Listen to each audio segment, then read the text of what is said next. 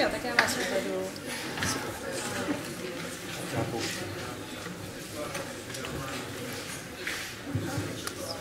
Tak jo, tak já vás vítám po obědě u druhé přednášky, které se zhostí kdo jiný než pan profesor Černý, vám všem známý. Eh, Zbyla tady teda jedna jediná brožura, tak se o ní potom poperte, tady těch pět nesu nahoru. Já vás rozsoudím. Jo, užijte si přednášku. Tak. Tak, děkuji moc za přivítání. Letos se to stalo tak, že já už mám letos třetí přednášku. Vidím tady řadu známých tváří. Takže doufám, že do třetice všeho dobrého, taky se říká do třetice všeho zlého a to je pak na vás, jak to, jak to zhodnotíte.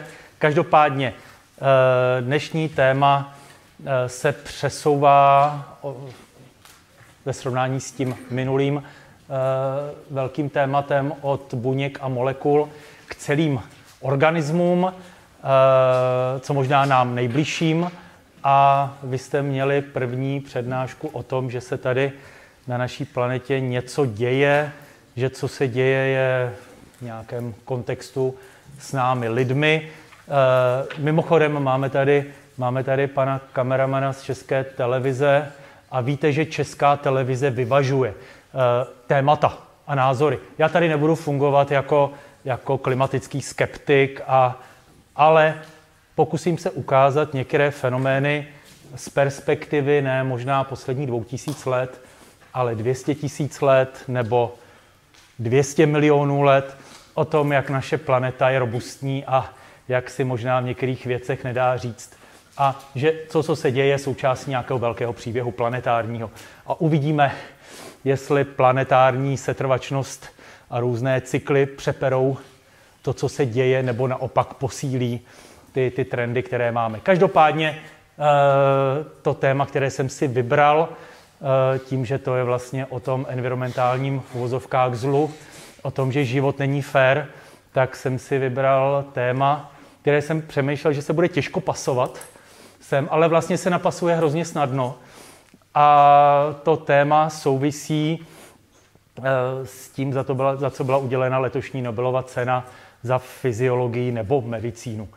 A to je Nobelova cena eh, Svante Pébemu za objev, vlastně on to dostal za spoustu věcí. Některé z toho vyplynuly. Primárně to dostal za to, že vyvinul techniky, jak je možné číst genetickou informaci dávno vyhynulých jedinců, eh, takzvané dávné DNA, ancient DNA.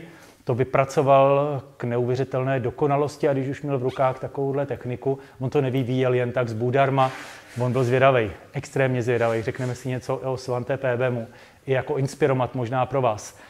A když už to měl v rukách, tak začal sekvenovat, začal číst písmenko za písmenkem, čím dál tím lépe a přišel na neuvěřitelné fenomény, které budou v srdci dnešní naší přednášky. Takže bude to o přežití doby ledové eh, specifickým způsobem. Budeme mluvit o nás homo sapiens sapiens, budeme trošku relativizovat naši vlastní eh, evoluční identitu. Eh, já nechci, abyste došli do stavu krize identity jako takový ty, o který se mluví, abyste z toho měli psychické problémy, ale naopak, abychom dospěli nakonec, že to, co je fajn, fajn takový jako životní modus vivendi, není xenofobie, ale xenofílie. A xenofílie nám může přinést spoustu různých know-how, jak přežít to či ono. Každopádně eh, budeme tady mluvit o určitém odkazu neandertálců, eh, nejenom v tom, že to jsou vlastně zajímavý takový jako i mediálně vděční týpky, ale e, to znamená nějaký, nějaká popkultura neandertálčí a různé knížky různých spisovatelů, ale odkaz naší vlastní genetické informaci. A já jsem tady, myslím, minule říkal, že všichni jsme mutanti, že jo? Tak tady určitě můžu klidně říct, že všichni jsme aspoň částečně neandertálci. Myslím, že tady nikdo fenotypově nepřipomíná nikoho, kdo by nebyl. Myslím, že ne. Bylo by to možné, ale myslím si, že jak to tady tak jako vypadá, tak, tak to není. Takže ale k tomu se dostaneme.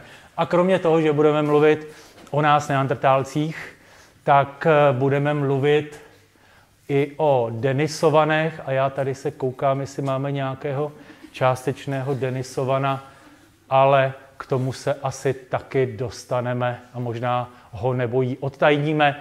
Každopádně já bych si dovolil říct, že, eh, že i nemůžeme vyloučit částečnou denisovanskou přítomnost.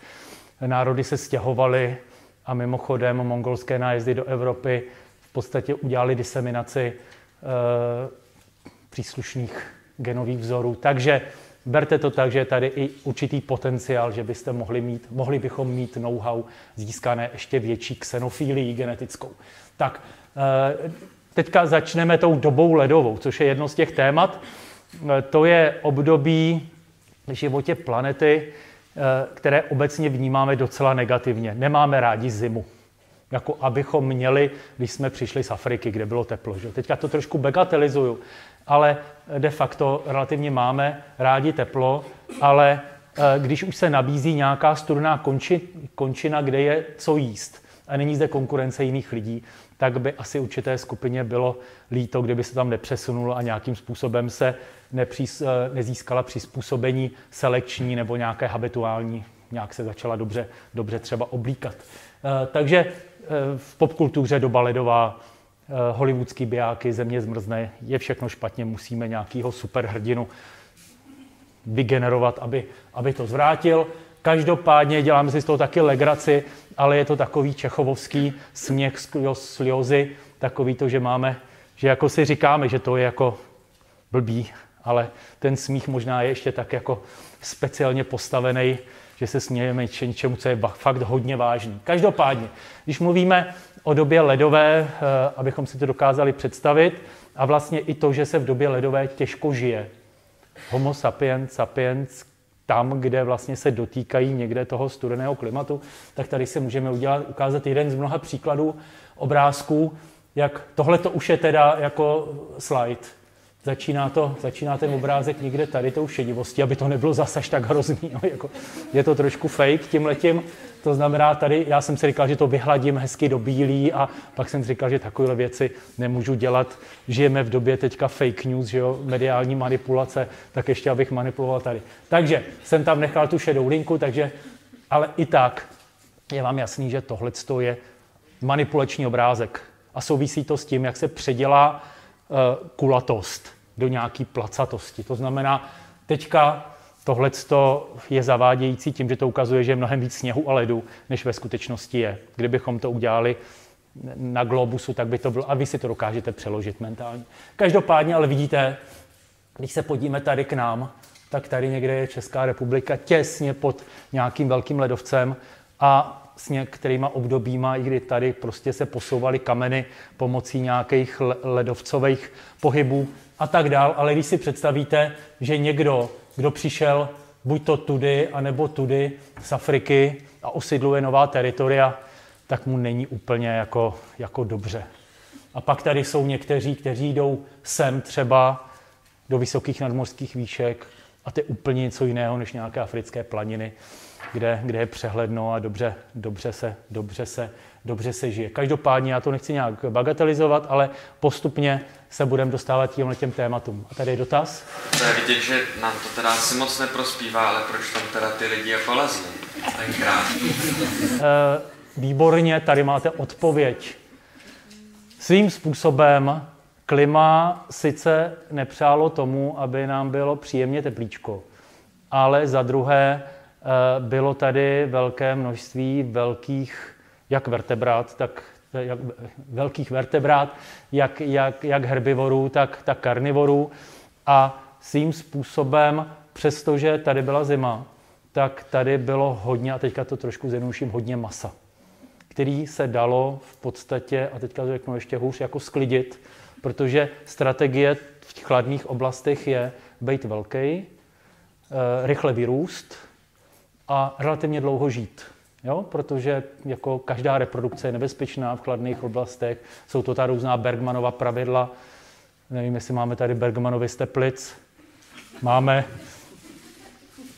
pana ředitele Teplického gymnázia a jeho ženu paní profesorku biologie. Teďka to nechci, eh, Češi to neobjevili, je to, je to staré ekologické pravidlo, ale eh, které říká několik zajímavých věcí. To znamená, ta odpověď je, když už se cesta otevřela, tak někteří určitě projdou, jednak jsou zvědaví a, a druhak se jim nabízejí nové možnosti. A tohle to byla jedna z příležitostí, které mohli využít. To znamená velká fauna, která, která byla, byla ulovitelná. Kromě toho, že teďka, teďka nechci říct, že někde to takhle vypadalo. Tohle je umělecká licence, takováhle koncentrace herbivorů nedává smysl. To znamená zase zavádějící obrázek. Jo? Pardon. A další zavádějící obrázek bude tehle ten. Nikdy se nesešly takhle pohromadě tyhle ty tvorové, ale dokážete si představit, že když jsou velcí herbivorové, budou velcí karnivorové a bude jich relativně hodně a globální změny můžou způsobovat, že někdy budou mít víc potravy, někde méně potravy. A dokážete si i představit, že lidé, kteří přišli, přišli eh, do těchto krajů, tak nebyly rozpoznávány těmito, že by přišel nějaký eh, vůdce eh, tvorstva. Prostě přišlo další maso, které se dá, dá v podstatě skonzumovat, takže evidentně docházelo k tomu, že naši předci byli, byli loveni a už tady můžu říct možná to, že když se podrobně studují kosterní pozůstatky našich předků, tak až 70% kostí nese důkazy toho, že ten dotyčný byl skonzumován nějakou velkou šelmou. Jo? A v některých oblastech to byly i velký ptáci. Jo? Jako doba byla zlá a bylo fajn se jí naučit nějak přežít. A ideálně co nejrychleji. Nebyl čas nenechat se sežrat. A mimochodem, když se přijde někam, kde je, kde je nové prostředí, tak asi nepřekvapí, že tam budou nové patogeny, eh, nové konstelace patogen hostitel, všechno jinak. To znamená, o tomto hodně bude dnešní přednáška, jak je možné rychle se přizpůsobit nějakou xenofilní aktivitou. Tak a teďka, když se podíváme z nějakého na doby ledové v nějakém širším slova smyslu, tak to, co my vnímáme jako tu dobu ledovou, tak je, tak je to, co známe z těch, z těch knížek, eh, v podstatě, kdy byla zima, lovili se mamuti. To znamená, tyhle ty eh, doby ledové byly jedny z mnoha, kterými prošla naše, naše planeta. A tohle je obrázek, který vlastně byl i součástí hrozně důležitého článku v Science na toto téma, který ukazuje takovýhle výchylky teplot. A z dálky to asi nevidíte, ale tadyhle je 570 milionů let. Jo, tady a tadyhle jsme, až teďka jsme tadyhle v tomhle období. To znamená, tady můžete vidět, že eh, po velkou většinu eh, geologické historie planety Země bylo zhruba, teďka to zjednuším, o 10 stupňů víc. A bylo to spojené s tím, tohle je množství oxidu uhličitého, jo, který fluktuovalo a my jsme někde, už ne tady, ale tady, a to je ten antropogenní nárůst oxidu uhličitého. To znamená tohle, jak fungovala naše planeta bez nás lidí, bez naší industriální civilizace, a to je to, co jsem zmiňoval, jako nějakou tu endogenní dynamiku planety Země, kdy se sčítají a odečítají různé příspěvky zvenku, sluníčko, různé, různé trajektorie planety Země, různé naklonění a k tomu vlastně i endogenní aktivita, sopečná činnost a tak dál, a tak dál, která v tom může udělat docela velkou paseku. A tady můžete vidět příklady a to bych vám doporučil si vygooglit tohleto, snowball fenomén, to znamená období, kdy, kdy planeta Země v podstatě zmrzla. Těch období bylo několik a to, byl, to byla jedna z nejhorších kataklizmatických změn planety, s kterou se život musel vypořádat. Já jsem se jenom chtěla zeptat, to se zjistilo ze sedimentu nebo jak, jakým způsobem? Tohle eh, tehle ten článek, já když tak tam, já tam nechávám vždycky u všech těch obrázků ty, ty zdroje, Eh, dá se to dobře dohledat a je to vlastně sumarizace mnoha výzkumů, které jsou jednak sedimenty, potom tam jsou nějaký magnetický, já nevím, co všechno, eh, studie eh, a je to vlastně přes sebe přeložených spousta výstupů do něčeho, co dává nějakým způsobem smysl. A samozřejmě jsou v tom i ta velká vymírání různého typu. To znamená, určitě se tohleto dá proložit s nějakými i stratigrafickými záznamy diverzity. Jo? Takže eh, já teďka nejsem planetální klimatolog, ale vím, že jsem kdysi se díval na tu metodologii a je to hrozně zajímavý. Jo, jsou to uh, řada věcí, které jsou blízké současnosti, do nějakých několika desítek milionů let, se dají studovat uh, z ledovců, v podstatě starých ledovců, který se nacházejí na různých částech naší planety a studují se tam různé izotopy a já nevím, co všechno. Jo, takže krásný projekt pro mezi, mezi předmětové vzdělávání na středních školách. Každopádně jenom si uvědomit, že planeta Země prožívala úplně jiná období, než zažíváme dnes a velice typicky docela nedávno eh, v třetích horách to bylo, to bylo hodně jinak. A tady máme pohled do mnohem menší uh, historie. Tady máme 500 tisíc let zpátky a tady máme ty čtyři doby. Uh, ledové, uh, které, které uh, vlastně ne, doby, doby meziledové, ne, ledové, teďka to je jak s teplotou, asi, asi to jsou samozřejmě, to jsou doby meziledové a tady máme doby, doby ledové to znamená nižší teplotu. To znamená, tady vidíme uh, naše období, dobu meziledovou, kde, kde právě žijeme. A jenom bych chtěl upozornit vlastně na, na ty prodlevy mezi dobami ledovými a jenom vám nasadit trošku uh, do hlavy představu, že kdo ví, co nás čeká na planetární úrovni. A teďka k tomu nedávám žádné plus minus, prostě takhle, takhle to je a je možné, že přijde další doba ledová a my s tím budeme těžko něco dělat. A můj pocit je, že horší je doba ledová než trošku teplejší doba meziledová. A teďka to ber, berte, že trošku vyvažuju. Uh, a, a navazuju na naše kolegy, jako je David Štorch a Petr Pokorný a další.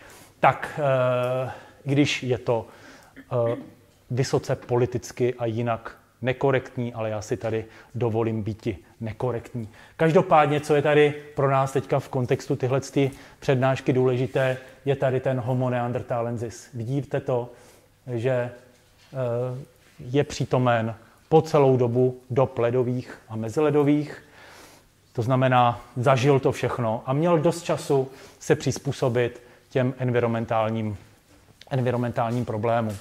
A tady máme Homo sapiens, který vlastně teda nějakým způsobem interagoval s dobami ledovými, užil si doby meziledové a vidíme tady překryv e, nějaké, nějaké doby, kdy žili spolu Homo sapiens a Homo neanderthalensis a mohli se od sebe nějak učit.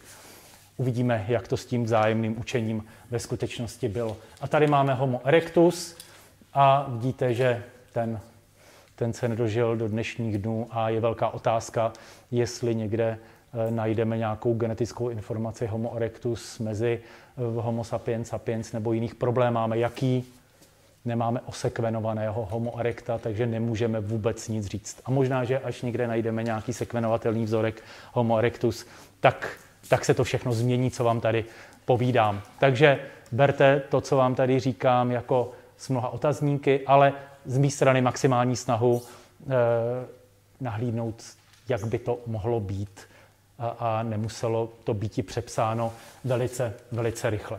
Tak eh, další obrázek jenom pro impresy, abychom viděli, kam až sahal ledovec. A my jsme teda, my jsme teda tady, takže vidíte naše severní hory, kde teďka hezky sněží, ale to, co se tam teďka odehrává, není vůbec srovnatelné s tím, co se tam odehrávalo Eh, před těmi desítkami tisíc let. A tohle to je něco, čím trošku uzavřu tohleto téma klimatického strašení anebo naopak klimatického optimismu. To je, že fluktuace v klimatu nastávají menší míře. Nemůžeme to pojmenovat jako interglaciál nebo glaciál na menší čas, časové ose. A tady můžeme vidět nějaké pozitivní, tady máme dobu ledovou, od které se teda odvětvilo, tady máme nějakých 11 tisíc let zpátky, jak se začalo oteplovat a tady můžeme vidět jednotlivé periody, kdy bylo tepleji a kdy bylo, kdy bylo studeněji. Takže tady jsou nějaká klimatická holocení optima a hrozně vlastně dobře, až vlastně až příliš dobře, aby to bylo úplně pravda. Já to nemám úplně rád, aby se ty věci propojovaly, že, že, že, že byly nutnou podmínkou něčeho jiného, ale řada lidí o tom ráda mluví a, a dá se to docela dobře popularizovat, že tady máme jako dobu bronzovou lidské společnosti, která byla vlastně hrozně fajn a byla, byla velice dynamická. E, pak tady máme e, dobu železnou, tady máme v tom, v tom klimatickém období dobu, kdy římské impérium bylo, bylo na svém vrcholu. E, tadyhle je teplé období středověku, kdy vlastně se etablovala naše, naše evropská civilizace. Tady máme malou dobu ledovou, která nastala v době těch, těch, těch válek. Učíte se ty různě dlouhé války, které mimochodem asi byly proto, že nebylo co jíst a lidi měli hlad a, a byla nutnost prostě získávat jiný zdroje. No a teďka my jsme někde tady. To znamená, jenom abychom měli zase jiný způsob čtení toho, co se, co se děje. A já teďka tady vůbec neříkám, že znečišťování životního prostředí je dobře a že nemáme být předběžně opatrní. Ale na druhou stranu tady máme nějakou dynamiku planetárního, planetární eh, klimatologie. Podle vašeho názoru, čím se dá vysvětlit to oteplování? Jako to přece sopečná činnost není, lidi taky ne, tak čím? Eh, tam je to hrozně eh, jako zajímavý. Já zase nejsem klimatolog, ale mnohem snadnější než oteplování se dá vysvětlit ochlazování. A tady, já tady mám tuhle ten obrázek. To vám doporučím, abyste si to pro, pro, prostudovali. Já tady na to nebudu mít čas, ale v podstatě tyhle, ty, tyhle ty studený období, vidíte tady tu sopečku, jsou spojený s uh, velkýma silnýma periodama sopeční činnosti, které dostanou do vzduchu, do vzduchu velké množství částic. Albedo se změní, uh, země odráží že jo, sluneční záření a evidentně, jak jsem, se, jak jsem snad nahlídnul od našich, nad, našich makroekologů, tak se mohou nastartovat systémy pozitivních zpětných vazeb, změny, změny eh, mořských proudů a tak dál a tak dál, který vedou vlastně k nějakému sešupu, z kterého se potom eh, ta planeta dostává relativně dlouho. To znamená, tohle to je o tom, že to je to mávnutí motýlího křídla, ale musí to být pořádný motýl který zamává a vytvoří nějaký turbulentní stav, na který se můžou nasadit další, další věci. Jo? Takže já teďka vám to říkám jako, jako, jako úplný amatér, ale to co, to, co, to, co vím, že se říká, tak je, že spouštěčem je ta velká sopečná činnost, která potom nastartuje další, další makroekologické změny. Jo? Takže zase beru vám, říkám vám tohle, co trošku z jiného soudku, jako brouka do hlavy, aby se člověk díval na některé fenomény, eh, fenomény z nějaké víc ptačí, pers, eh, ptačí perspektivy, to znamená s nějakým, s nějakým nadhledem. No tady na tom grafu u té malé doby ledový to vypadá, že spíš končila právě těma erupcemi těch sopek, tak to... Ne, tadyhle začala těma No tam začala a potom s nima skončila velmi... Jako... Jo, tady, Tady, že ještě jsou další sopky, myslíte? No, že tam hodně až to jde do té jako teplejší periody. Je to tak? Máte dobré oko? Googlete, vidíte to, jak... jak. Jo? E, ale jako realitou jsou ty fluktuace průměrné teploty. Tohle to se dá hrozně snadno už kvantifikovat, změřit. Tady nám stačí opravdu udělat hluboký výkop v Antarktidě do, do, do, do ledovce a studovat jednotlivý stratigrafický přírůstky změny a, a vlastně tohle se dá zmapovat relativně dobře. Jo, takže a dá se to mapovat i ze vzduchových bublinek, které jsou uzavřené v tom ledu, který dají hrozně zajímavou informaci další a tak dál a tak dál. To znamená krásná chemie, fyzika, biologie dohromady. Takže e, tak a teďka jenom trošku legrácka k těm neandrtálcům už. Jo? Eh, neandertálci mají takovou jako neúplně dobrou pověst, jo? ale když neandertálce oblíkneme do nějakého přiměřeného oblečení eh, a postavíme ho k nějakému přednáškovému pultíku a do ruky mu dáme nějaký pazurkový nástroj, tak vlastně já mám pocit, že to nevypadá příliš, v který to má ruce, že to nevypadá příliš jinak než, než tady pan přednášející, který se historicky uh, cítí významně neandertálcem, já se k tomu dostanu, někteří už možná slyšeli, úplně dávno. Dřív, než to bylo teďka populární, že jsem některé své atributy neandertálského typu takhle zmiňoval uh, i při přednáškách z histologie třeba a tak, tak k tomu se dostaneme. To znamená, mimochodem, já tady mám ten pěstní klín v ruce, uh, který je originální. To je, to je, ten je pravej a uh, je 500 tisíc plus starý a nemá co dočinění s homo sapiens sapiens, který je mnohem mladší. Nemá ani co dočinění s neandertálci, protože předchází neandertálce. Od koho si myslíte, že je? Tím pádem. Je to homo erectus? Je to homo erectí pěstní klin, chcete si ho pochovat? Tak si ho pochovejte. Já nevím, jestli můžu říct, kde jsem ho, kde jsem ho sehnal, protože mě za to mohli možná zavřít. Ježíši chování. To je, to je úžasný, jaká je k tomu pozitivní emoce.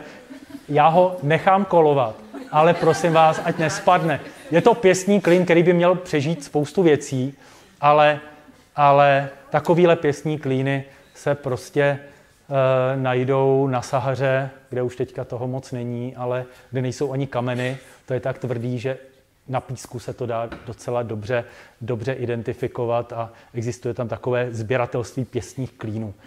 Takže jenom na okraj, jenom abychom si uvědomili, že když se, když se řekne neandertálec, nějaké nadočincové oblouky, ale jinak, jinak eh, může vypadat jako intelektuál. Já bych klidně řekl, že klidně může jít do politiky.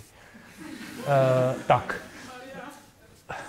No jasně lidé otužilí, odvážní, kteří přežijou všelicos a mimochodem měli větší mozek, než jsme měli my a kdo ví, jestli to nebyl jejich handicap vůči těm agilním, všehoschopným homo sapiens sapiens. Každopádně je spoustu vtipů na téma neandertálec. Už když jsem vám říkal, že jste částečně nebo jsme částečně neandertálci, jak jsem nevěděl, jestli to nebudete brát jako velkou urážku, neberte to, neberte to jako urážku.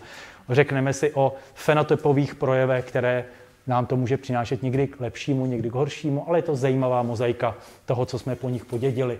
No a tohle to mám rád. Prostě eh, nevím, jestli už existuje nějaká artificial intelligence aplikace, která z nás z každého udělá neandertálce. To se podívejte, já bych to chtěl. Jo, možná v mém případě by se toho moc nezměnilo, ale mistr Vín vypadá ještě sympatičtěji ne, než je. Každopádně, uh, uh, ale teďka jsem to pokazil, tam podí, viděli jste ty noviny otevřený u ty, u ty paní, která tam četla, že vědci chtějí klonovat vymřelé neandertálce. Nevím, jestli někdo chce, možná tak jako ve snu, ale myslíte si, že by to bylo možné? Vrátit do života neandertálce? Víte, jaký je rozdíl v genetické informaci mezi námi a neandertálci? Na minulé přednášce jsme si říkali, že mezi námi je to 99,9 identita. To znamená 0,1 odlišnost. 3 miliony písmenek. To znamená, s neandertálci je to třikrát víc v podstatě, než je naše vnitřní homo sapiens sapiens variabilita. To znamená, těch písmenek, které bychom museli změnit, je 10 milionů a to je nic. To už dneska jsme schopni vytvořit úplně nové genomy a syntetizovat dlouhé úseky DNA. Takže tím nechci říct, že bychom to měli dělat. Ale tím chci říct, že možná v některých případech eh, druhů, které opravdu jsme vyhubili svým přičiněním, Tohle to může být způsob, jak je vrátit do života, jako teďka jsou eh, třeba, je snaha vrátit do života, nebo, nebo i mamuta, ale to je zase na jinou de- debatu. Každopádně, když se udělají opravdu kvalitní rekonstrukce z kosterních pozůstatků, abychom eh, nahlédli, jak tito jedinci vypadali, abychom to trošku odvulgarizovali z toho, Eh, toho, toho neandertálna neandertálskosti konce 19. a 20. století, kdy byli neandertálci ukazováni jako, jako, jako neandertálci, pořád to v sobě máme, tak, tak eh, vlastně se dostáváme k tomu, že neandertálec vypadal takhle a náš archaický předek vypadal takhle. A já, mě jsou oba dva stejně sympatický. Jo? Pro mě, pro mě já, bych si, já bych si za kámoše měl problém vybrat jednoho nebo, nebo druhýho. A tady máme pohled do hlavy těch dvou. Můžete vidět rozdíl mezi, mezi uh, hlavou nebo vlastně uh, kosterní částí a mozkovou částí hlavy a můžeme vidět, že teda ty, ty, ty rozdíly jsou v nějakých, nějakých XYZ uh, souřadnicích jednotlivých částí, ale uh, můžeme vidět i trošku jiný tvar tvar hlavy. Můžeme z toho, kde jsou eh, více nebo méně eh, obsažená různá centra mozková, trošku jako přemýšlet o tom, jaké bylo nějaké eh, neurofyziologické nadání toho vůči tomu kterému druhému. Každopádně můžeme se podívat, jak vypadala ústní dutina, jak to vypadalo s jazykem. Můžeme z toho spekulovat, jaký mohl být jazyk neandertálců, že neuměl některá písmena evidentně vyslovovat, protože na to neměl vhodnou, vhodnou morfologii ústní dutiny a o tom je už dneska začíná vznikat něco jako neandertálčí lingvistika a zkus, pokus pojmenovat, čeho mohl být vokálně neandertálec schopný. Každopádně, kdybychom si zvážili mozek tento a mozek tento, tak možná by nás překvapilo, že neandertálčí mozek byl větší než těžší než, než průměrný mozek Homo sapiens sapiens. Tím nechci říct, že byl neandertálec chytřejší, schopnější, ale určitě byl jiný a nezaostával zcela jistě v tom bytí tím homo, tím, tím, tím, tím, tím, tím člověkem asi za svými, za svými e, současníky archaickými homo sapiens a e, možná to, co pro ně mohl být významný handicap, tak to mohl být právě ten jazyk, schopnost nějakého, nějakého, nějaké verbalizace v podstatě, ale, ale tohle to se asi nikdy nedozvíme. Uh, druhý, uh, vlastně třetí do party. Jedno jsme my, nebo my. Co jsme my? Jo, teďka. Ale jako uh, toho jednoho člena do party, to budou ty, kteří opustili Afriku a kteří přišli zhruba před 100 tisíci lety a teďka ty čísla, které říkám, berte s rezervou, protože se to pořád mění. Ale zhruba ta první vlna před 100 tisíci lety, a já to zase zrelativizuju za chvíli těch 100 tisíc let eh, do Evropy a do Euroázie v podstatě, musíme říct. Pak jsme měli neandertálce, kteří tam už byli dlouhou dobu, kteří nepronikali zřejmě do Afriky, ne, nepodařilo se najít žádné pozůstatky neandertálců v Africe a kteří se tam přizpůsobili místnímu prostředí. Ale nebyli sami, měli nějaké předky. A evidentně před nějakými 500 miliony plus, minus, kdo ví přesně, Eh, se rozvětvily dvě vývojové linie, jedna neandertálčí a druhá denisovská. A ještě, co se týká těch denisovanů, tak evidentně různých typů denisovanů. Jo, tady už máme několik genetických informací, které ukazují, že jsou altajští a jižní a tak dále. A zase se k tomu dostaneme. Takže co se týká denisovanů, tak tohle to, co je z nich víceméně máme. Dobrý zub a několik prstních kůstek. To znamená, vůbec nevíme, jak vypadaly podle kosterních pozůstatků. Mnohem méně dohlídneme, než eh, co se týká teda neandertálců, kde můžeme udělat nějakou rekonstrukci. A eh, jediný, kde můžeme použít nějaký hint jako k zachycení, jsou některé lidské populace, které mají v sobě vysoké procento denisovských genů. 6%, eh, 7% může být klidně ta ta introgrese takzvaná, to znamená přijetí jiné genetické informace v některých lidských populacích. E, jsou to třeba v těchto filipínští negritos a jiné, jiné e, ostrovní populace, e, Nová Gvinea, Austrálci a tak dál jsou high Denisovan gene pozitiv. Takže, ale nevíme. Nevíme a Dneska nejsme tak daleko, že bychom vzali písmenka genetické informace, prohnali nějakým softwarem, nějakou umělou inteligencí a na konci byl by obrázek, jak ten člověk vypadá. Nebojte se, když někde ztratíte vlas někdo vám osekvenuje vaší vlastní genetickou informaci, což se dneska z jednoho vlasu dá, tak nebude vědět, jak vypadáte. Bude mít nějaký náznaky, barva očí a tak dále, jestli se spálíte a, a jestli, máte, jestli máte nebezpečí to, že se z vás stane alkoholik. To všechno se dá jako odhadnout. Dokonce možná částečně, jakou politickou stranu budete volit, ale jak vypadáte, určitě ne. Tak, eh, a teďka k té revoluci, kterou teďka zažíváme v biomedicíně. Tady je Svante Pebo a e, dostal teda letos Nobelovu cenu. Po řadě let dostal Nobelovu cenu jako úplně sám. Předtím to byly různé kolektivy. Tady to dostal sám proč? Protože je to ten pionýr, je to ten, který založil úplně novou disciplínu, je to člověk, který prosazoval myšlenku něčeho, čemu nikdo nevěřil. A je to ten otec, otec zakladatel. Eh, já tady mám jeho životopis, který si když tak potom z prezentace přečtěte, to je životopis, kterým by bylo dobré se nechat inspirovat, kromě asi první položky, asi nikdo nejste, nebo je tady někdo z vojenského gymnázia nebo z nějaký vojenský? Asi ne, no tak to se dá dohnat. Máme teďka tady motivaci, že vojenská kariéra a tak. Každopádně Eh, potom studoval archeologii, studoval egyptologii, protože ho to bavilo a, a byl zvědavý.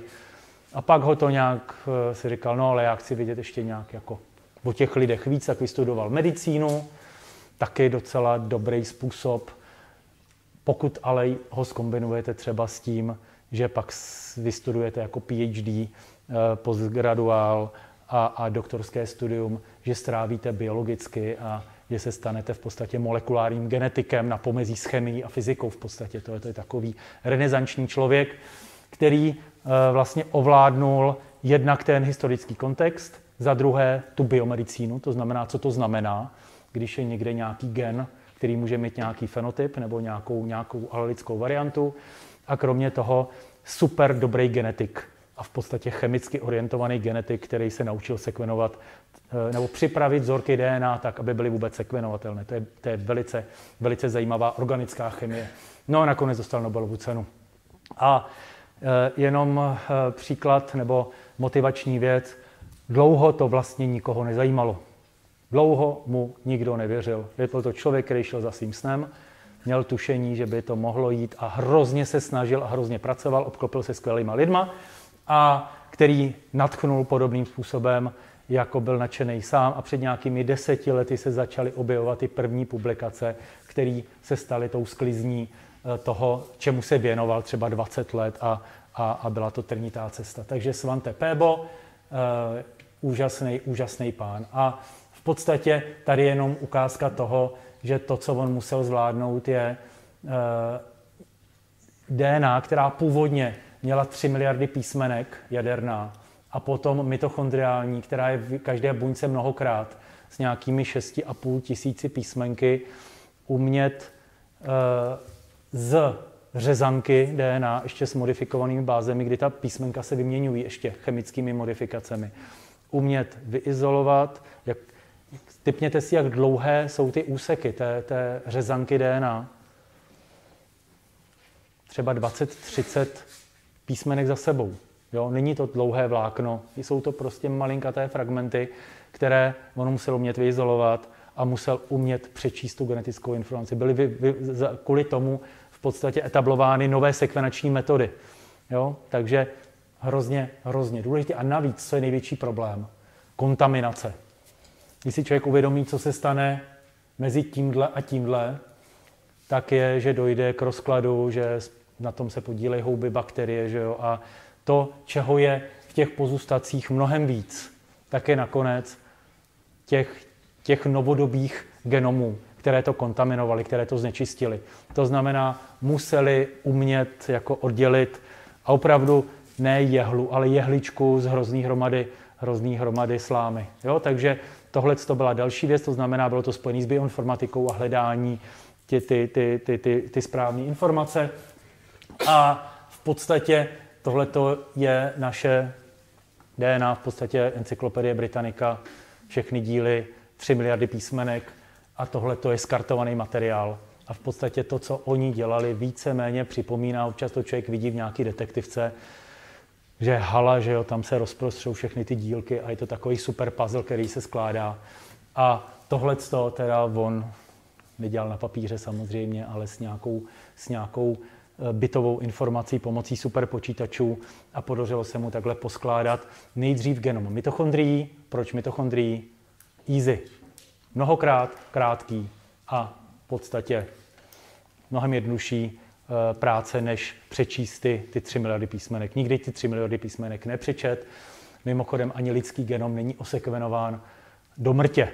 Jsou tam takové malé kapitolky v centromerové oblasti a v telomerových oblastech, kde je hodně GC párů, kde to prostě ještě nejde. A možná najdeme ještě jeden nějaký jeden pár genů, které, které máme ve svém genomu, ale už, už, už, už toho moc nebude. Každopádně tohle se naučil dělat. No a e, v podstatě tady máme ty, ty místa, e, která založily tuhletu vědeckou tradici.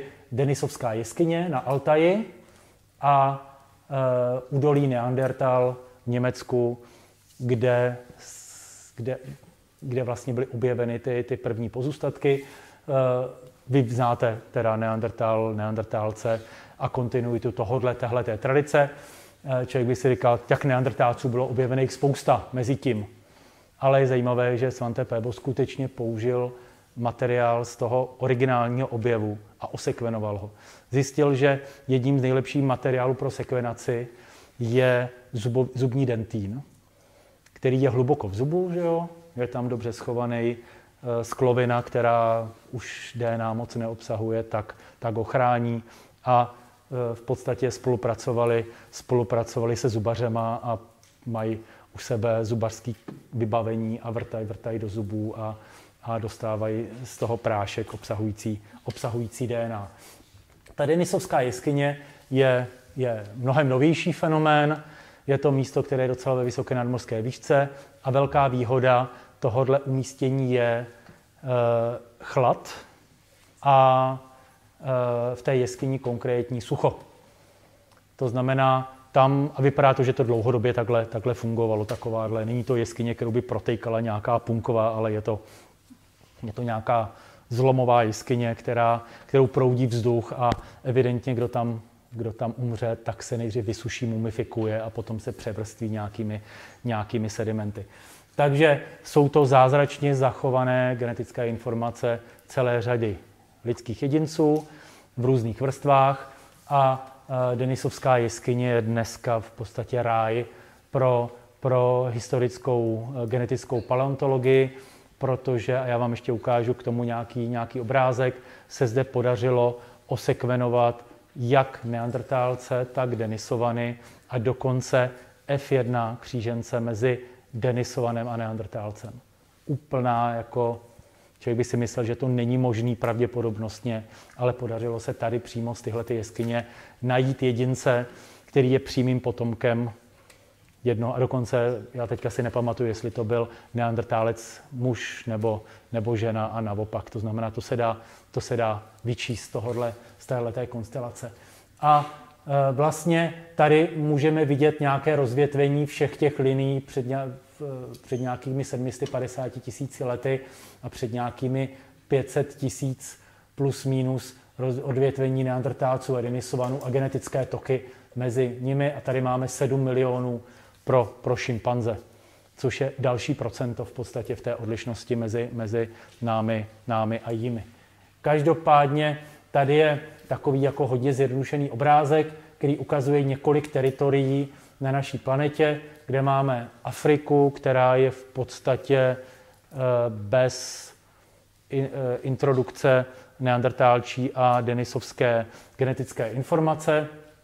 Kromě severní Afriky, kde jsou zase navrátilci, kteří se vrátili z Evropy v docela, v docela velké míře, ale jsou cel, velké, velké oblasti Afriky, kde ty původní obyvatele eh, nemají, nemají vlastně tu, ten neandertálský příspěvek, ale z velké sekvenace eh, genomů celoplanetární se ukazuje, že evidentně evoluční historie Homo sapiens je komplexní a Eh, že možná byly i v Africe jiné živočišné, eh, živočišné jiné homo, druhy rodu homo, které fúzovaly vlastně v různých kontextech s různými populacemi. To znamená, jestli někde je, je bohatství lidské genetiky, tak jsou to africké populace, které, které obsahují v sobě, sobě velkou diverzitu. A teďka to zase nechci vulgarizovat, ale když se člověk podívá na olympijské hry, tak evidentně konkrétní genetika sedne konkrétnímu fenotypu. Fenotyp olympijský vítěz běhu na 100 metrů, fenotyp uh, vítěz maratonu, fenotyp to a to. A je, je úžasné, jak vlastně v kolika disciplínách můžou lidi soutěžit na olympijských hrách, vypadá to dobře.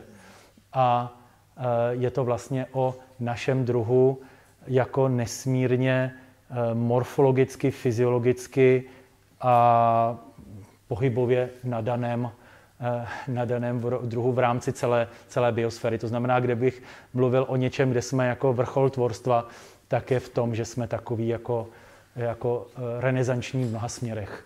Že jsme schopní téměř všeho možného, co se týká eh, běhu, skoku a tak dál a tak dál. Každopádně, tady vidíme, že Evropa je takový hotspot pro neandertálčí genetiku.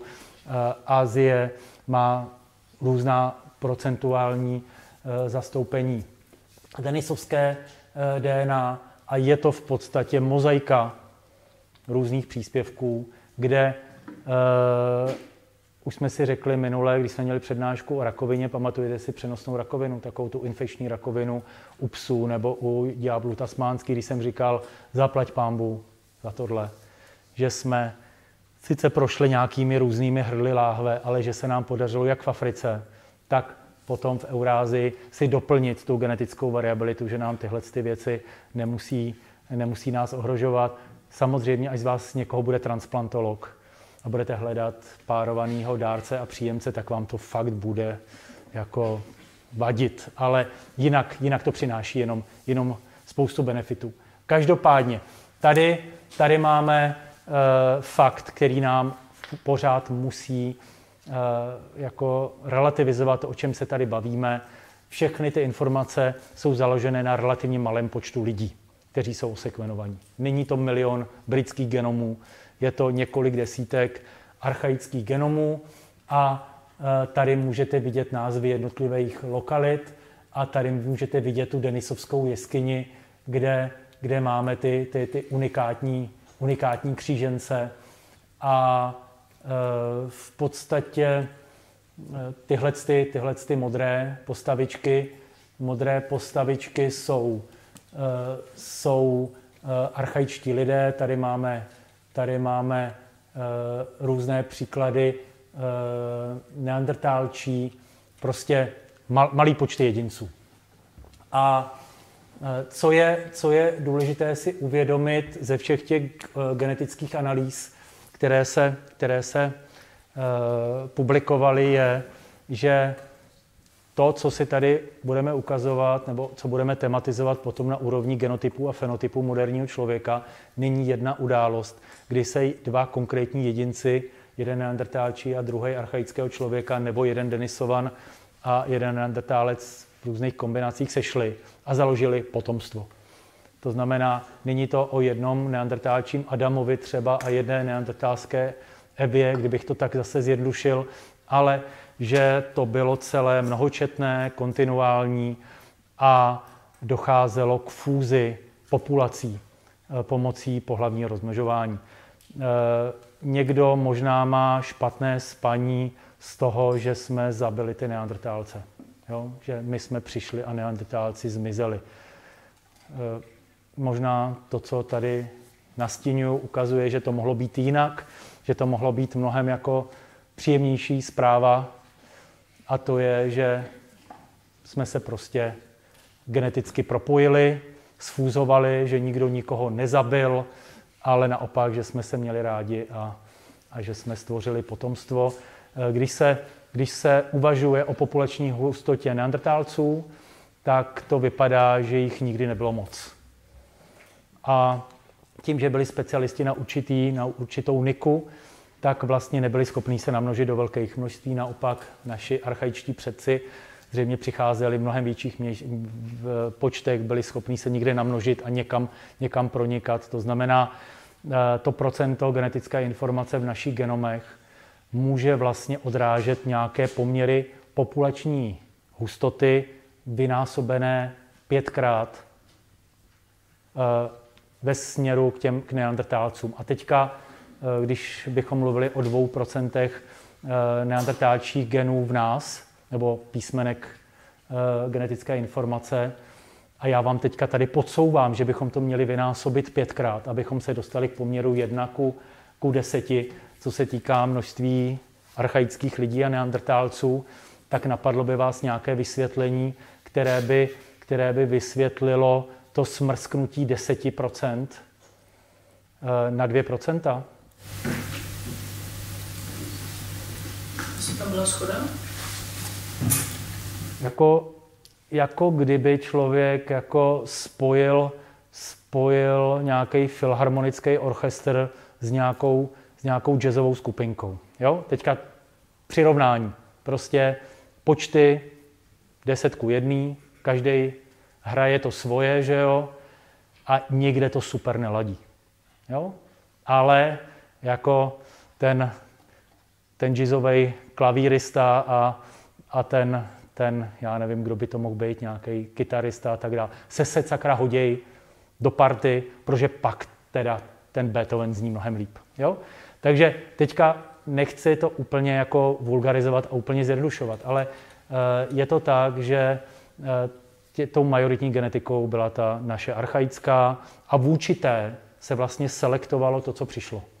A následovali další křížení vlastně v tomto poměru 1 k 10 a evidentně došlo k negativní selekci, odstraňování něčeho, co neladilo, co, co nedávalo smysl, co snižovalo fitness. A Vypadá to, že za několik desítek tisíc let je možné tohleto udělat, je možné udělat matematické modely, které tohleto popisují, které úplně přesně fitují na to, co je možné pozorovat u archaických lidí. Takže jsme vyředili neandertálčí genetiku a nechali jsme si, nechali v vozovkách. Došlo k přírodnímu výběru e, variant, které které eh, vlastně přidali nějakou, nějakou hodnotu. Některé tam zůstaly jenom proto, že jsou neutrální, že nic nedělají. Jo, prostě eh, nejsou poznat, že přišli od, od Denisovana nebo Neandertálce a potom se pozitivně selektovali ty a nabohacovali se ještě víc než 10%, 20, 30, 40, ty, které, které byly nějakým způsobem výhodné. A my, se, my si budeme povídat o jednotlivých těch případech, hlavně těch genů, které byly pozitivně selektovány a staly se v podstatě tradiční součástí naší genetiky. Kdybychom prohledali co nejvíc lidí, a už bylo prohledáno takhle několik milion homo sapiens sapiens, eh, a soustředili se na neandertálčí variabilitu a srovnávalo se to s těmi osekenovanými neandertálci, tak bychom našli v každém lidském genomu zhruba 2 plus, nebo i někde trochu mínus. Eh, a poskládali bychom z toho asi polovinu neandertálčích genů, polovinu neandertálčího genomu. Druhá polovina byla odselektovaná a byla toxická, byla letální a tak dál a tak dál. To znamená hrozně zajímavý fenomén e, přírodního výběru, který zafungoval během, během naší koevoluce. Takže opakovaně a e, tady výsledkem je teda chimérní lidský genom, kde e, v podstatě říká se tomu introgrese, a na některých našich chromozomech máme v podstatě neandertálčí geny a když to, že bychom udělali obarvení našeho genomu eh, těmi neandertálčími geny, tak to není tak, že jeden chromozom je neandertálčí a zbytek je těch našich. Jsou to, je, to, je to velice jemně rozprostřeno a selektováno během těch desítek tisíc let. A co v tom udělalo tu segmentaci, to je crossing over během mejozy, to znamená, kdy se dělají homologní Eh, rekombinace mezi chromozomy, takže tím se to celé rozešlo. To, co bylo původně na jednotlivých chromozomech, se teďka úplně, úplně rozprostřelo po jednotlivých chromozomálních sadách a ještě u každého jinak. Tak, eh, tak a jenom stala se z toho jako velk, stalo se z toho velký téma, lidi to baví a je luxusní Wikipediová stránka na toto téma. To znamená Wikipedii vocať, pocať. Jo? ale jako dobrý, ve většině případů jako skvělý. A tahle ta stránka, stránka o, o, o e, křížení mezi archaickými a moderními lidmi je, je úplně luxusní a klidně ji můžete brát jako takovou učebnici a pánové, paní učitelky jako, jako něco pro projektové vyučování s dnešním možnost překládání. Prostě to je absolutně přístupný i pro ty a to nepředpokládám, že by tady někdo byl, kdo neumí skvěle anglicky.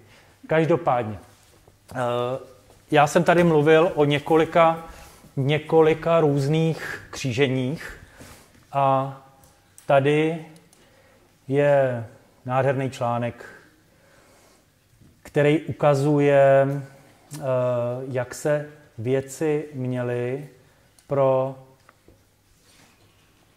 Tak, chviličku, chviličku.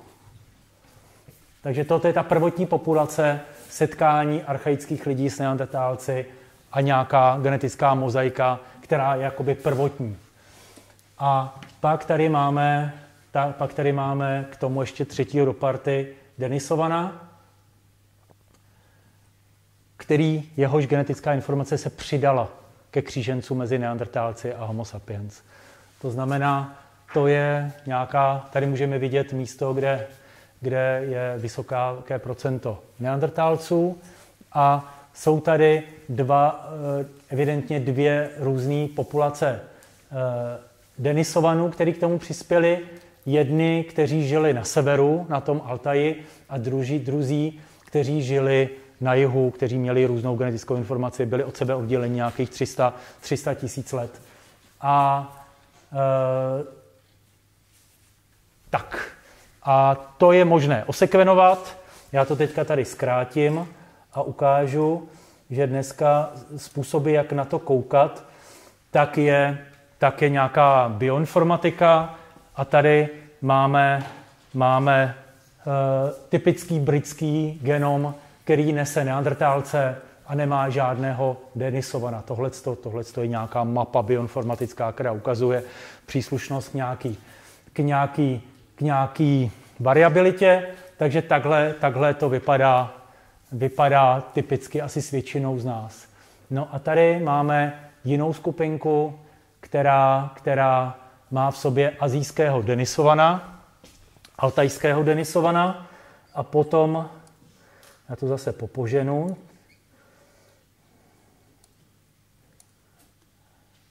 Jsou tady další, úplně jiní, s jinými kombinacemi jiných Denisovanů. To znamená, tohle je jenom příklad toho, jak se dá v našich vlastních genomech zjistit, co v sobě máme navíc. Jo, že se tam dá objevit denisovanský jeden, druhý, neandertálský příspěvek a dokonce se to dá, se to dá nějakým způsobem kvantifikovat. Takže tady je vidět, že, že e, ti, kteří jsou východoazijští, tak v nich se setkali dva různé příspěvky dvou různých typů denisovanů. A to jsou, to jsou ty populace, které mají v sobě nejvíc e, té e, genetické informace, která nepřišla přímo z Afriky v podstatě. Takhle bych to řekl. To znamená, jsou to trojití kříženci a takhle nějak jsme se zatím dostali. Myslím si, že se to bude ještě škálovat a bude to ještě jemnější a zachytíme další a další příspěvky a možná ta krize identity, která vyvstane, genetická, evoluční, bude, bude ještě větší. Takže tohle je něco, co vás možná překvapuje. Tady, když se podíváme na, na, to, na různé oblasti světa, Eh, jak to vypadá s příspěvky neandertálskými, denisovskými, anebo těmi, kde nedokážeme rozlišit, tak tady máme třeba Papuánce, kde máme velkou část toho exogenního introgresovaného příspěvku, ne neandertálčího, ale, ale denisovského. Takže toto se neustále vyvíjí. Teďka, kdybyste chtěli vy sami zjistit, jak to s vámi je, a mohli se s tím třeba chlubit, nebo, nebo jinak, tak eh, eh, existují už dneska specializované firmy. Já teďka nechci dělat reklamu na nikoho, je jich několik. Eh, vy si to můžete snadno vygooglit.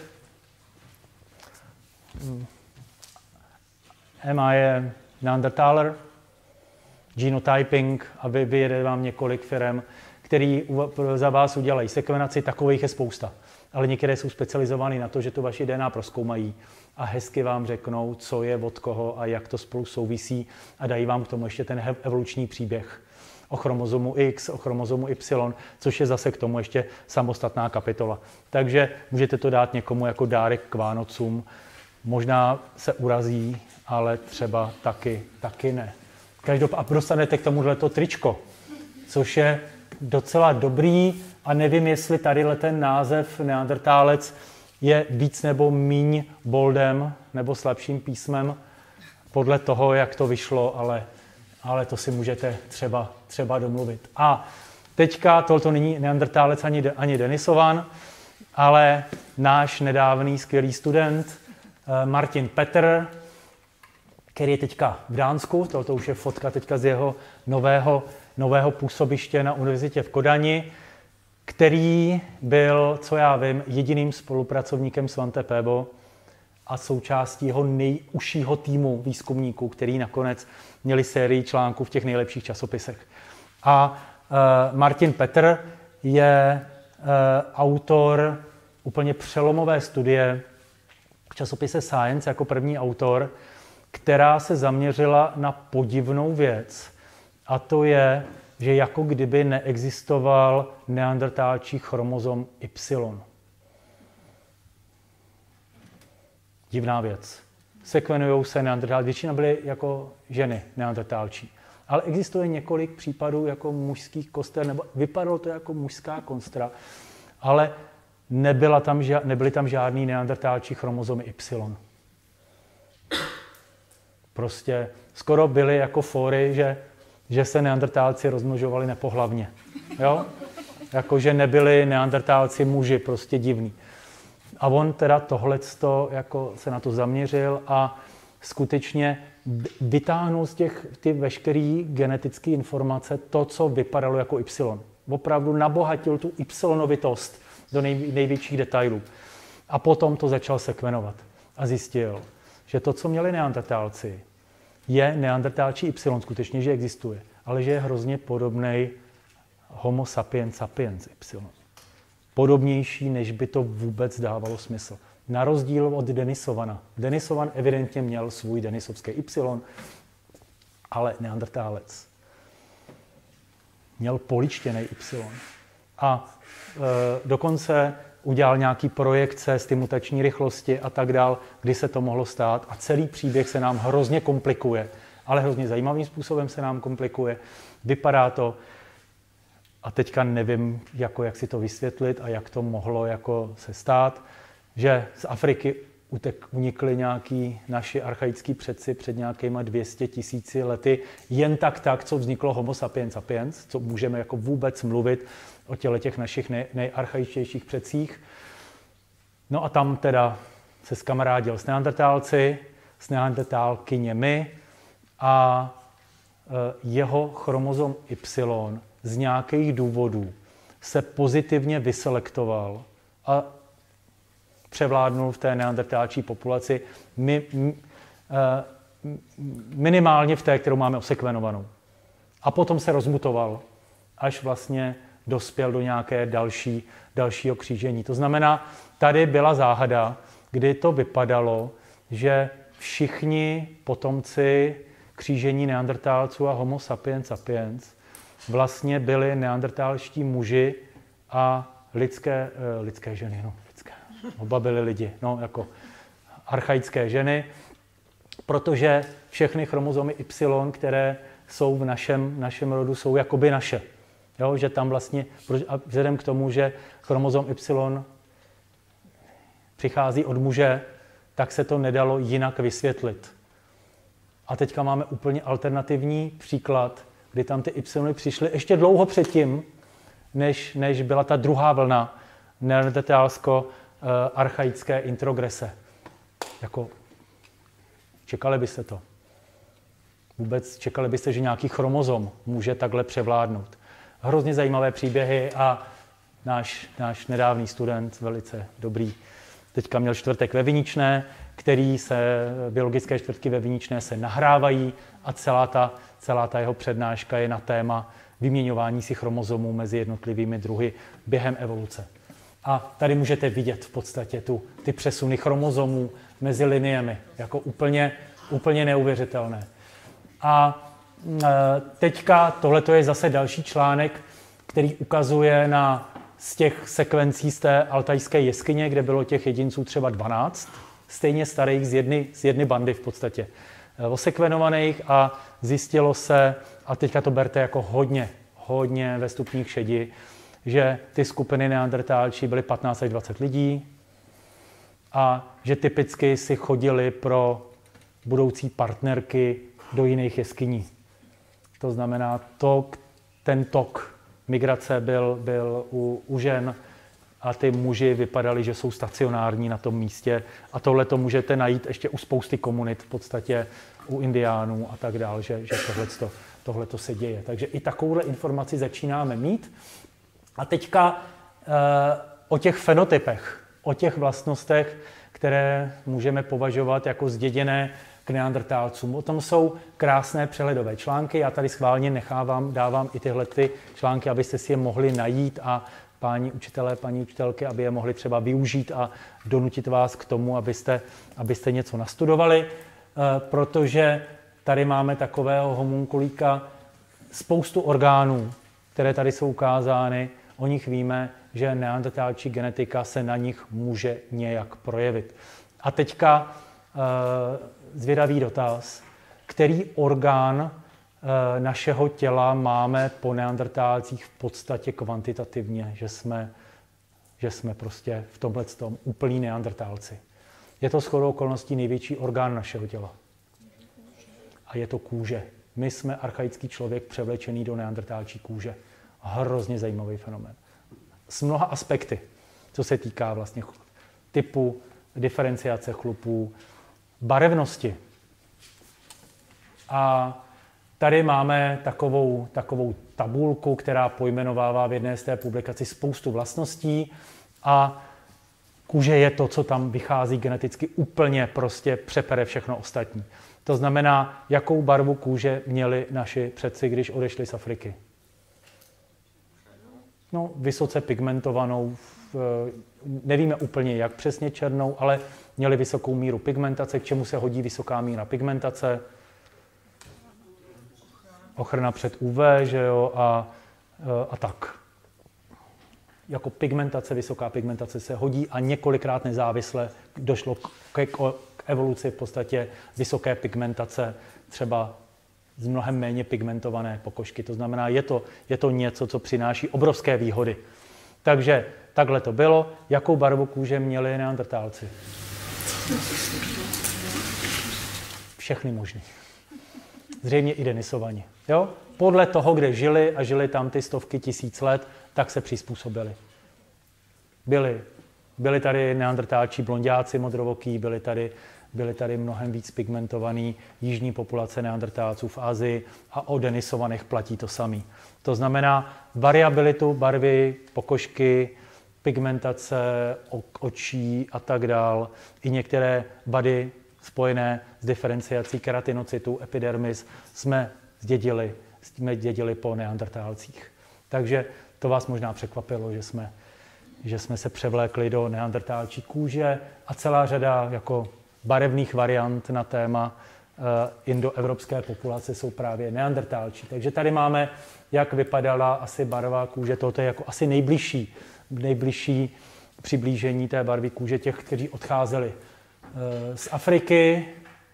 A tady máme vlastně variabilitu barvy kůže, s kterou se můžeme setkat a opravdu já jenom chci, abyste si uvědomili, že to je adaptační znak, který eh, my, kdybychom měli dost času a vrátili se někde do teplíčka, tak, tak, tak se nám to evolučně taky eh, stane samozřejmě nestane dneska, protože máme medicínu a nemáme žádný přírodní výběr, že jo? Ale, ale přírodní výběr optimalizuje pro příslušnou situaci příslušný genotyp a následný fenotyp. E, mimochodem, e, to zbělení kůže má nějakou e, selekční výhodu v těch, proč vlastně máme málo pigmentovanou pokožku.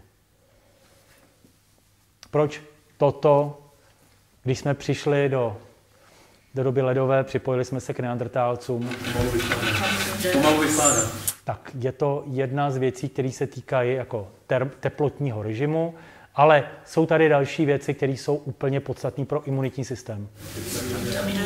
Vitamin D. To znamená, když bráníme pigmentem UV záření, aby pronikalo, tak vlastně neprobíhají fotochemické reakce, které jsou nezbytné pro to, aby vznikaly, vznikal třeba vitamin D. To znamená, člověk může mít avitaminózu tím, že, že nemá dost, dost, dost UV. A e, to jsou věci, které vlastně jsou, jsou selektovatelné poměrně, po, po, poměrně snadným, snadným způsobem. E, potom tady máme e, takovou další skupinu fenotypů, e, která je o takzvaném chronotypu.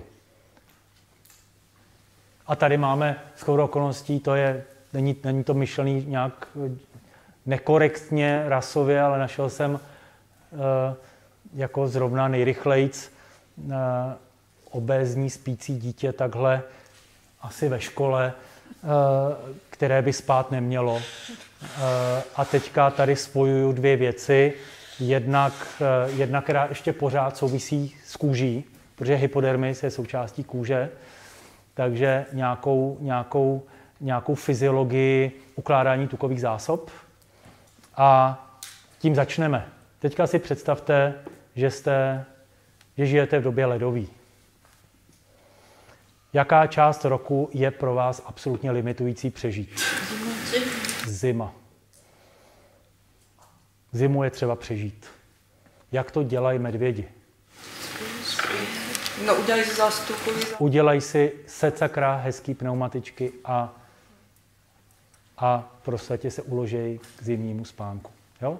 To znamená, uměj a navíc eh, řada eh, těchto těch jedinců dokáže využít maximálně potravy, která se nabízí v ten okamžik, skonzumovat enormní možností a být připravený na dlouhý hladový, obdbo, hladový úseky a k tomu mají modifikovanou tendenci ukládání tukových zásob. To znamená, cokoliv ještě do sebe dotlačím, tak uložím, protože bude hůř. Jo? A teďka si představte, že e, přijdete, skřížíte se a získáte skokem know-how, jak přežít zimu doby ledové, přejdete vlastně na ten neandertalčí skill, ala, ala, ala medvěd. Vůbec nevíme, co dělali v zimě. Jo? Možná tak jako pospávali, nebo taky ne, ale možná tady bylo taky nějaké snížení metabolismu. Někteří to známe, že jo, v zimě. Ono by se chtělo snížit metabolismus, ale on nám to ten reálný kapitalismus nedovolí. A školní docházka. Každopádně asi vás nepřekvapí, že některé fenotypy spojené s ukládáním tokových zásob jsou spojený s tímhle s tou neandertálčí genetikou, tak se to dá parafrázovat, že někdo si dá 10 knedlíků a, a zhubne 2 gramy a někdo se podívá na jeden knedlík a přibere půl kila. To znamená efektivita energetického metabolismu propojená vlastně s ukládáním tokových zásob. A teďka, jak to souvisí s chronotypem, to je docela e, zajímavá věc, že je to teda kontraselektovaný, ale určitýho procenta lidí evidentně je neandertálčí genetická variabilita, co se týká ovlivňování cirkadiální rytmicity. My, jak jsme tady, tak většinově nám cirkadiální rytmus běží jako hodinky. Často jako švýcarské hodinky v podstatě, který mají chybu vůči 24 hodinám pouhé, pouhých 8 minut nebo 12 minut plus minus. Jo, máme to cirkadiální, máme to 24 hodin, plus minus několik minut. A ty minuty, proč to není přesně a není to hlídaný přesně, abychom byli schopni reagovat na změny světla a posouvat se v ročních obdobích a tak dál a tak dál. Kdyby to nebylo, tak opravdu ten jetlag bude na pořád a, a, a, a hruza hruzoucí.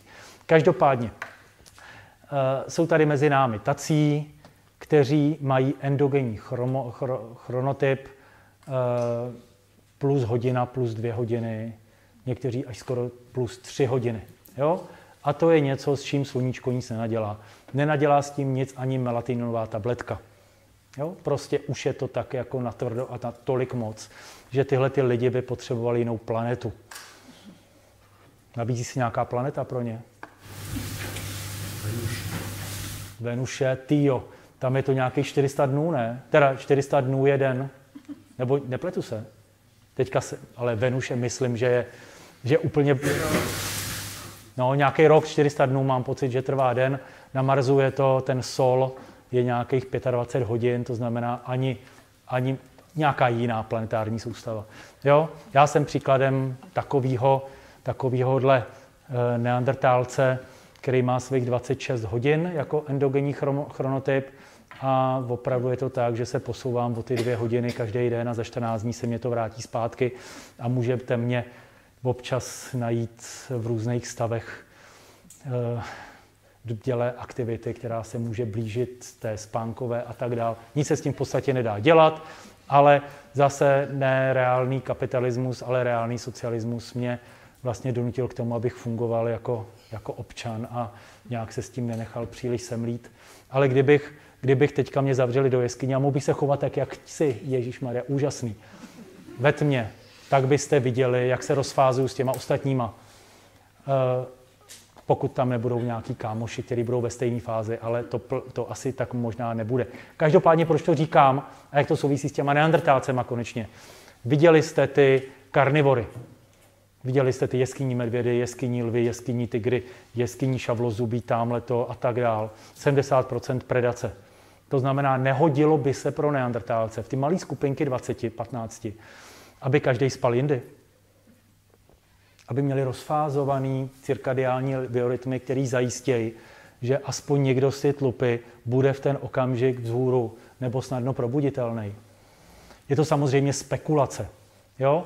ale Dává to smysl a vypadá to, že tyhle ty extrémní chronotypové alely, varianty jsou zděděny tímhletím způsobem a těm, kdo je nesou, možná nabízejí v některých typech povolání nějakou výhodu. Jo, můžou to být letušky, můžou to být stevardi, můžou to být šéfové leteckého eh, lidi na, na nějakých svobodných povoláních, ideálně uvidíme.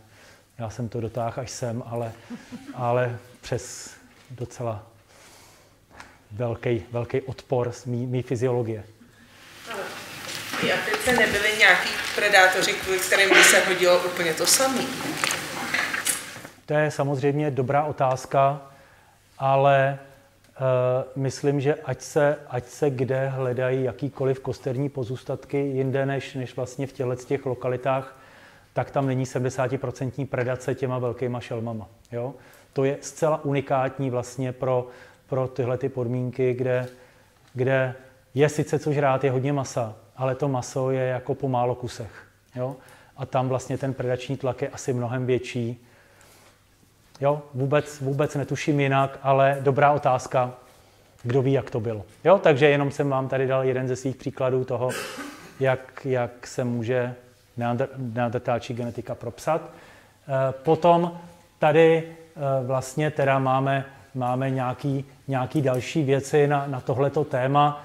Eh, já jenom pro pány učitele, paní učitelky, lidi, kteří jsou schopni ovlivnit vlastně situaci ve třídách ohledně těchto těch jedinců.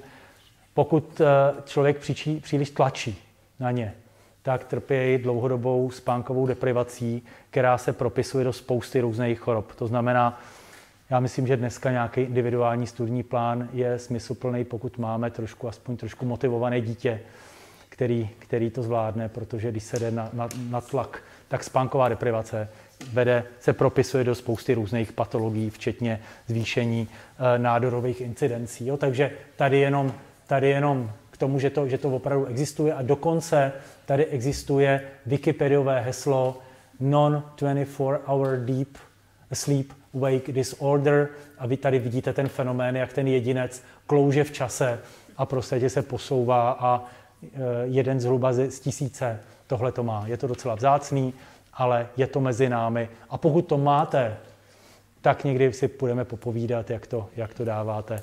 Není to zase tak vzácný. Každopádně možná pro vás překvapivý fenotyp, který může být geneticky založený a který může mít nějakou evoluční souvislost, která možná je trošku kostrbatá, ale ale je tady. Tady vlastně máme ty, to, co takhle bylo. No, byla to, naši předci byli, byli vítanou potravu. Ještě jako No. no. zajímavé, jsem teď pozná to, jestli ten byl sežrán jako nebo jako zapitel. Já vím, že to je dobrý, jasně. souviset jako uh, s podíváním, s dokonalostí. Jasně. Eh, Všechno tohleto jako zbuzuje, každý z nás by našel, jako jak to mohli zjistit, že to byl jako predátor, jestli to byl ulovený. Já ti když tak pošlu, pošlu ten článek, který takhle o tom spekuluje, že, že, že to byl ten hybatel a uh, že jo, tady přání otcem myšlenky může být a člověk by chtěl vidět ty, ty obrázky těch kostí různě jako... Se velmi dobře pozná, jestli to jako zvolený nebo ne, ale jako jestli to bylo okousený potom, co ten jedinec jako... Rozumím, rozumím. Pošlu ti a budeme to. Jo? Takže já teďka nechci, abych vás někam unášel k nějaké interpretaci. My si to ještě vysvětlíme tady antropologicky a, a dáme vědět. Ale opravdu zajímavá, zajímavý fenomén. Tak a já teďka tady postoupím eh, v popisu svých neandertalských skills eh, k dalšímu fenotypu a to je eh, fenomén hnědé tukové tkáně, po případě béžové tukové tkáně.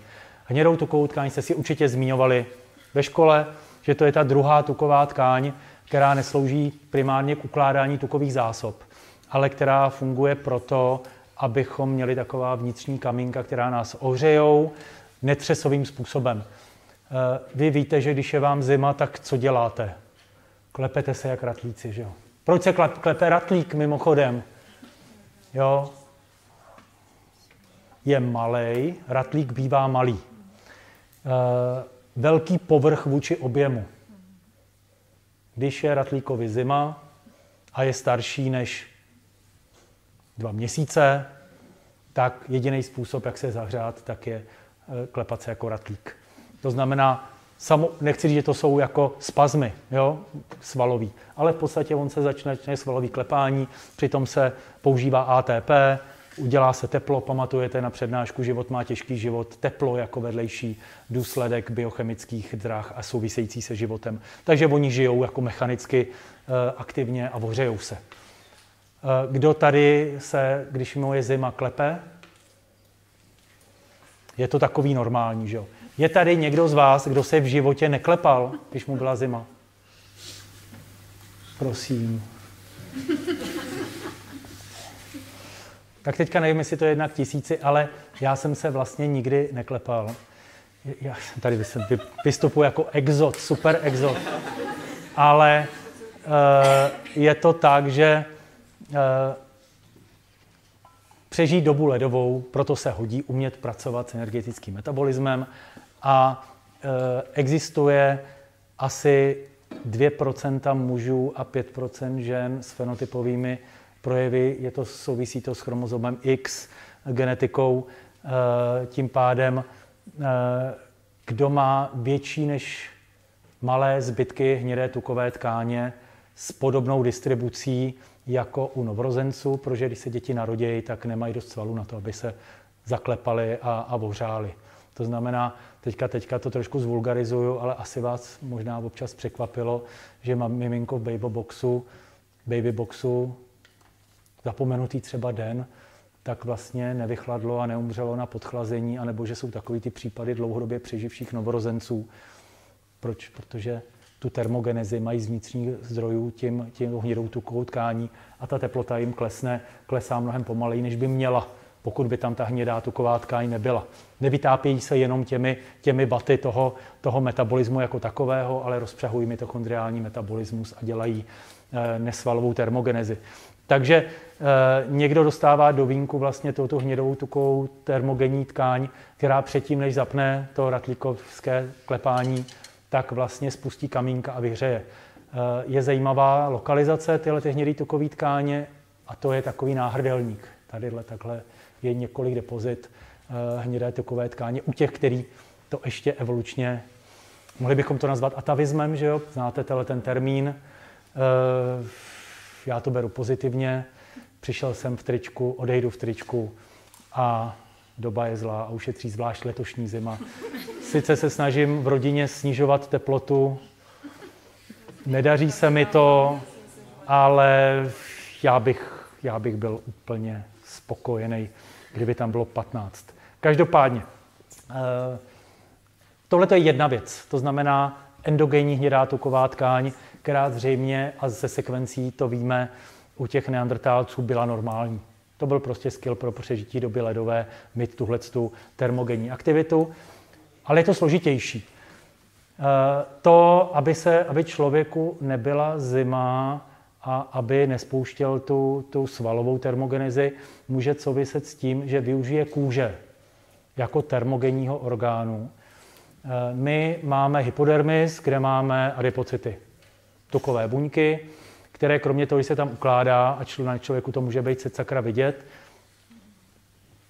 tak ale to ukládání je nejenom o tom uložení energie jako takové, těch energetických zásob, ale tuk velice dobře izoluje tepelně. To znamená, my si děláme takové jako zapolysterenování našeho, našeho, uh, našeho povrchu a je to fajn.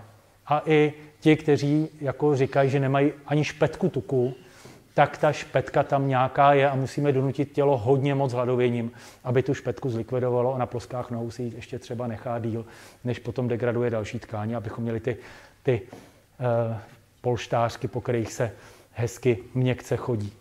Takže máme různé typy specializované tukové tkáně, eh, mechanickou, ukládací energie a taky pokud eh, se otužujete, anebo to máte vrozený, Eh, tak hypodermis není bílou tukovou tkání, ale je takzvanou béžovou tukovou tkání. Což je hnědá tuková tkáň, diferencuje ze svalových buněk, to je vlastně příbuzenstvo buněčné, eh, béžová a bílá jsou zase diferenciačně propojený. Z bílé tukové tkáně uděláte béžovou podchlazováním, otužováním. To znamená, pokud nebudete fanoušky optitermie, to znamená, aby vám nikdy nebyla zima, a dáte šanci zimě, aby vás nějakým způsobem histologicky modifikovala. A teďka zdůrazním vlastně normálně, protože býti zima někomu před dvěma tisíci lety bylo normální. A propišme si to do evoluční historie. To znamená kontakt se zimou a s, nějakou, s nějakým chladem, vůči kterému naše tělo reaguje, je vlastně normální a my na to jsme evolučně adaptovaní. Jenom děláme všechno pro to, aby tahle ta normalita histologická nenastala. Takže teďka střih, eh, když se někdo začne otužovat, vystavovat se chladu, tak vlastně bílá tuková tkáň se přizpůsobí té filogeneticky eh, původní a normální béžové tukové tkáni a stane se trošku problém sociální, že budete vypadat divně v řadě společností, když přijdete bez kabátu nebo dokonce bez kabátu boss, že to neznamená, že jste chudáčci, ale že si uvědomujete svoje, svoje evoluční, evoluční kořeny. Takže já to zase nechci bagatelizovat, teďka to je módní, že jo, a tak dál, a tak dál. Ona ta módnost vlastně má nějaké racionální jádro. Eh, je to tak, že bežová tuková tkání na rozdíl od bílé tukové tkáně, která přeroste nějakou mez, je protizánětlivá, nikoli prozánětlivá. To znamená, ukazuje se to třeba i v případě některých patologií, jako je COVID, eh, tak těžký COVID je spojen s příliš silnou aktivitou imunitního systému a ten, kdo má takový jako má schopnost uspat imunitní systém fyziologickým způsobem, tak, tak nemá tuhle tu imunopatologii a takových příkladů je celá řada. Je celá řada zánětlivých onemocnění, kde béžová tuková tkáň je tím, tím hybatelem. Propojte si to s civilizačními chorobami a já vás teďka nechci vyhnat do zimy, ale uh, Wim Hof je takový prostě věrozvěst těchto těch věcí, no a to je parťák v tomhle tom.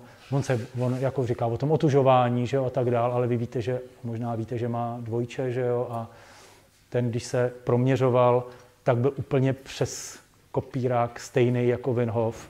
To znamená, mají to, mají to od narození a nemají se s čím vytahovat. Jo, prostě někdo to má nefér, já to mám taky takhle nefér a, a prostě je to možné teda získat teda tím otažováním, ale, ale nikoho nechci nutit, nenechte se nutit, prostě dělejte, co je vám fajn, ale jenom si uvědomte, že máme rádi teplíčko, máme rádi dostatek jídla, máme rádi cukříček, tak si nesmíme nadávat, že máme zkažený zuby. Tak, uh, takže tuková tkáň a tady vlastně jsou různé genové polymorfizmy, eh, které ukazují, tahle se podíváme na tu, tu červenou čárku, která ukazuje, že některé typy obezity, přibírání na váze tím, že mám velice efektivní metabolismus, jsou tady náš problém. Podívejte se, nic, nic, tak jako plus minus. To znamená, když se podíváme na trendy vlastně v obezitologii a v civilizačních chorobách, tak my za to částečně nemůžeme. Tím chci říct jako pozitivní, jako pozitivní a že, že, že jsme to zdědili a rozumíme té, té dědičnosti. Když jsme uměli, když jsme uměli uh, v podstatě se ochránit před zimou, a tohle je mimochodem probuzený a tohle to je ke spánku ukládající se medvěd, tak je to taky něco, co se přežilo. Jo, sice letošní zima by mohla trošku jako testovat tehle ten skill, ale, ale asi, asi úplně ne. E, mimochodem, je tady někdo, kdo, kdo na podzim má větší chuť k jídlu a přibere svý 3 až 5 kilo, tak jako přirozeně. Já se přiznám. Jo? A to je konečně někdo. A nebo konečně někdo se přizná. Takže tohle to jsou všechno věci, které jsou o ty době ledové, kterou je třeba přežít. Jo? Určitě. Jste říkal, že ten hnědý průběh přetrvá u dospělých, že je to jako náhrdelník, ale přece mají na zádech. Ty ho mají na zádech, to je pravda, mají ho v peritonální dutině okolo ledvin, že jo? Je to, je to tahlecta, tahle ta lokalizace, tak to prostě je, no. Já... Nám to teda nezůstává na zádech, ale nám to zůstává v té peritonální dutině jako to core, jako to tělní, tělní jádro, které se zahřívá. A kromě toho teda máme tehle ten náhrdelník. Mimochodem termovizí se to dá krásně u těch lidí vysledovat, že tady mají takový jako korále těchto těch termogenních metabolických kostrůvků.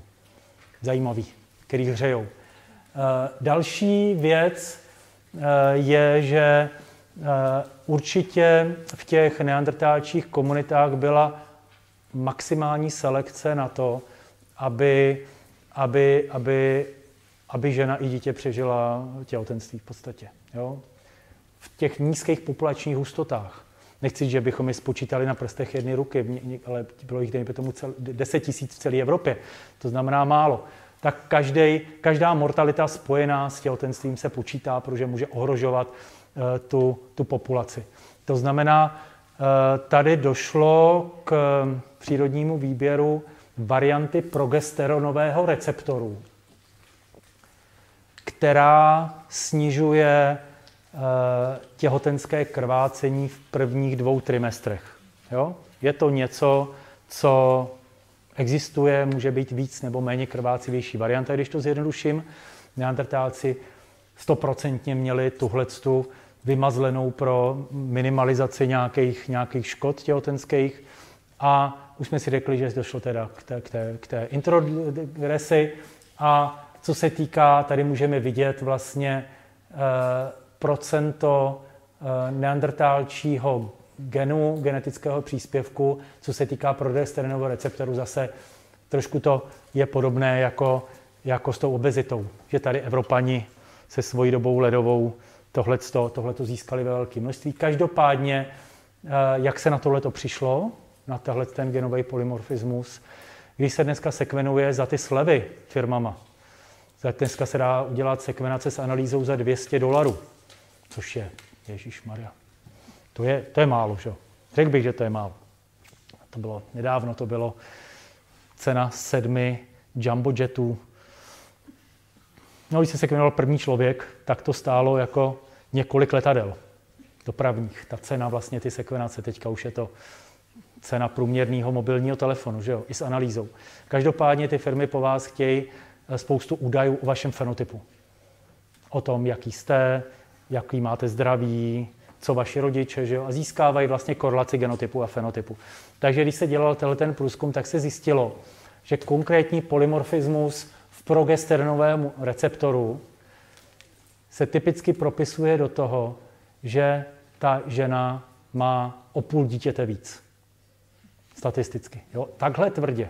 Jo? A teďka, když si člověk uvědomí, jaká je perinatální mortalita, embryogeneze, už jsme na to taky tady zabrousili, tak vlastně to, že z těch 4 ku 1 nebo 3 ku 1 se narodí víc dětí, které, kde je zábrana nějakých jako těl těch trofoblastových nebo usídlení embrya v děložní stěně komplikací, tak vlastně samo o sobě může být hrozně rychlou adaptací nebo pozitivně selektovaným znakem.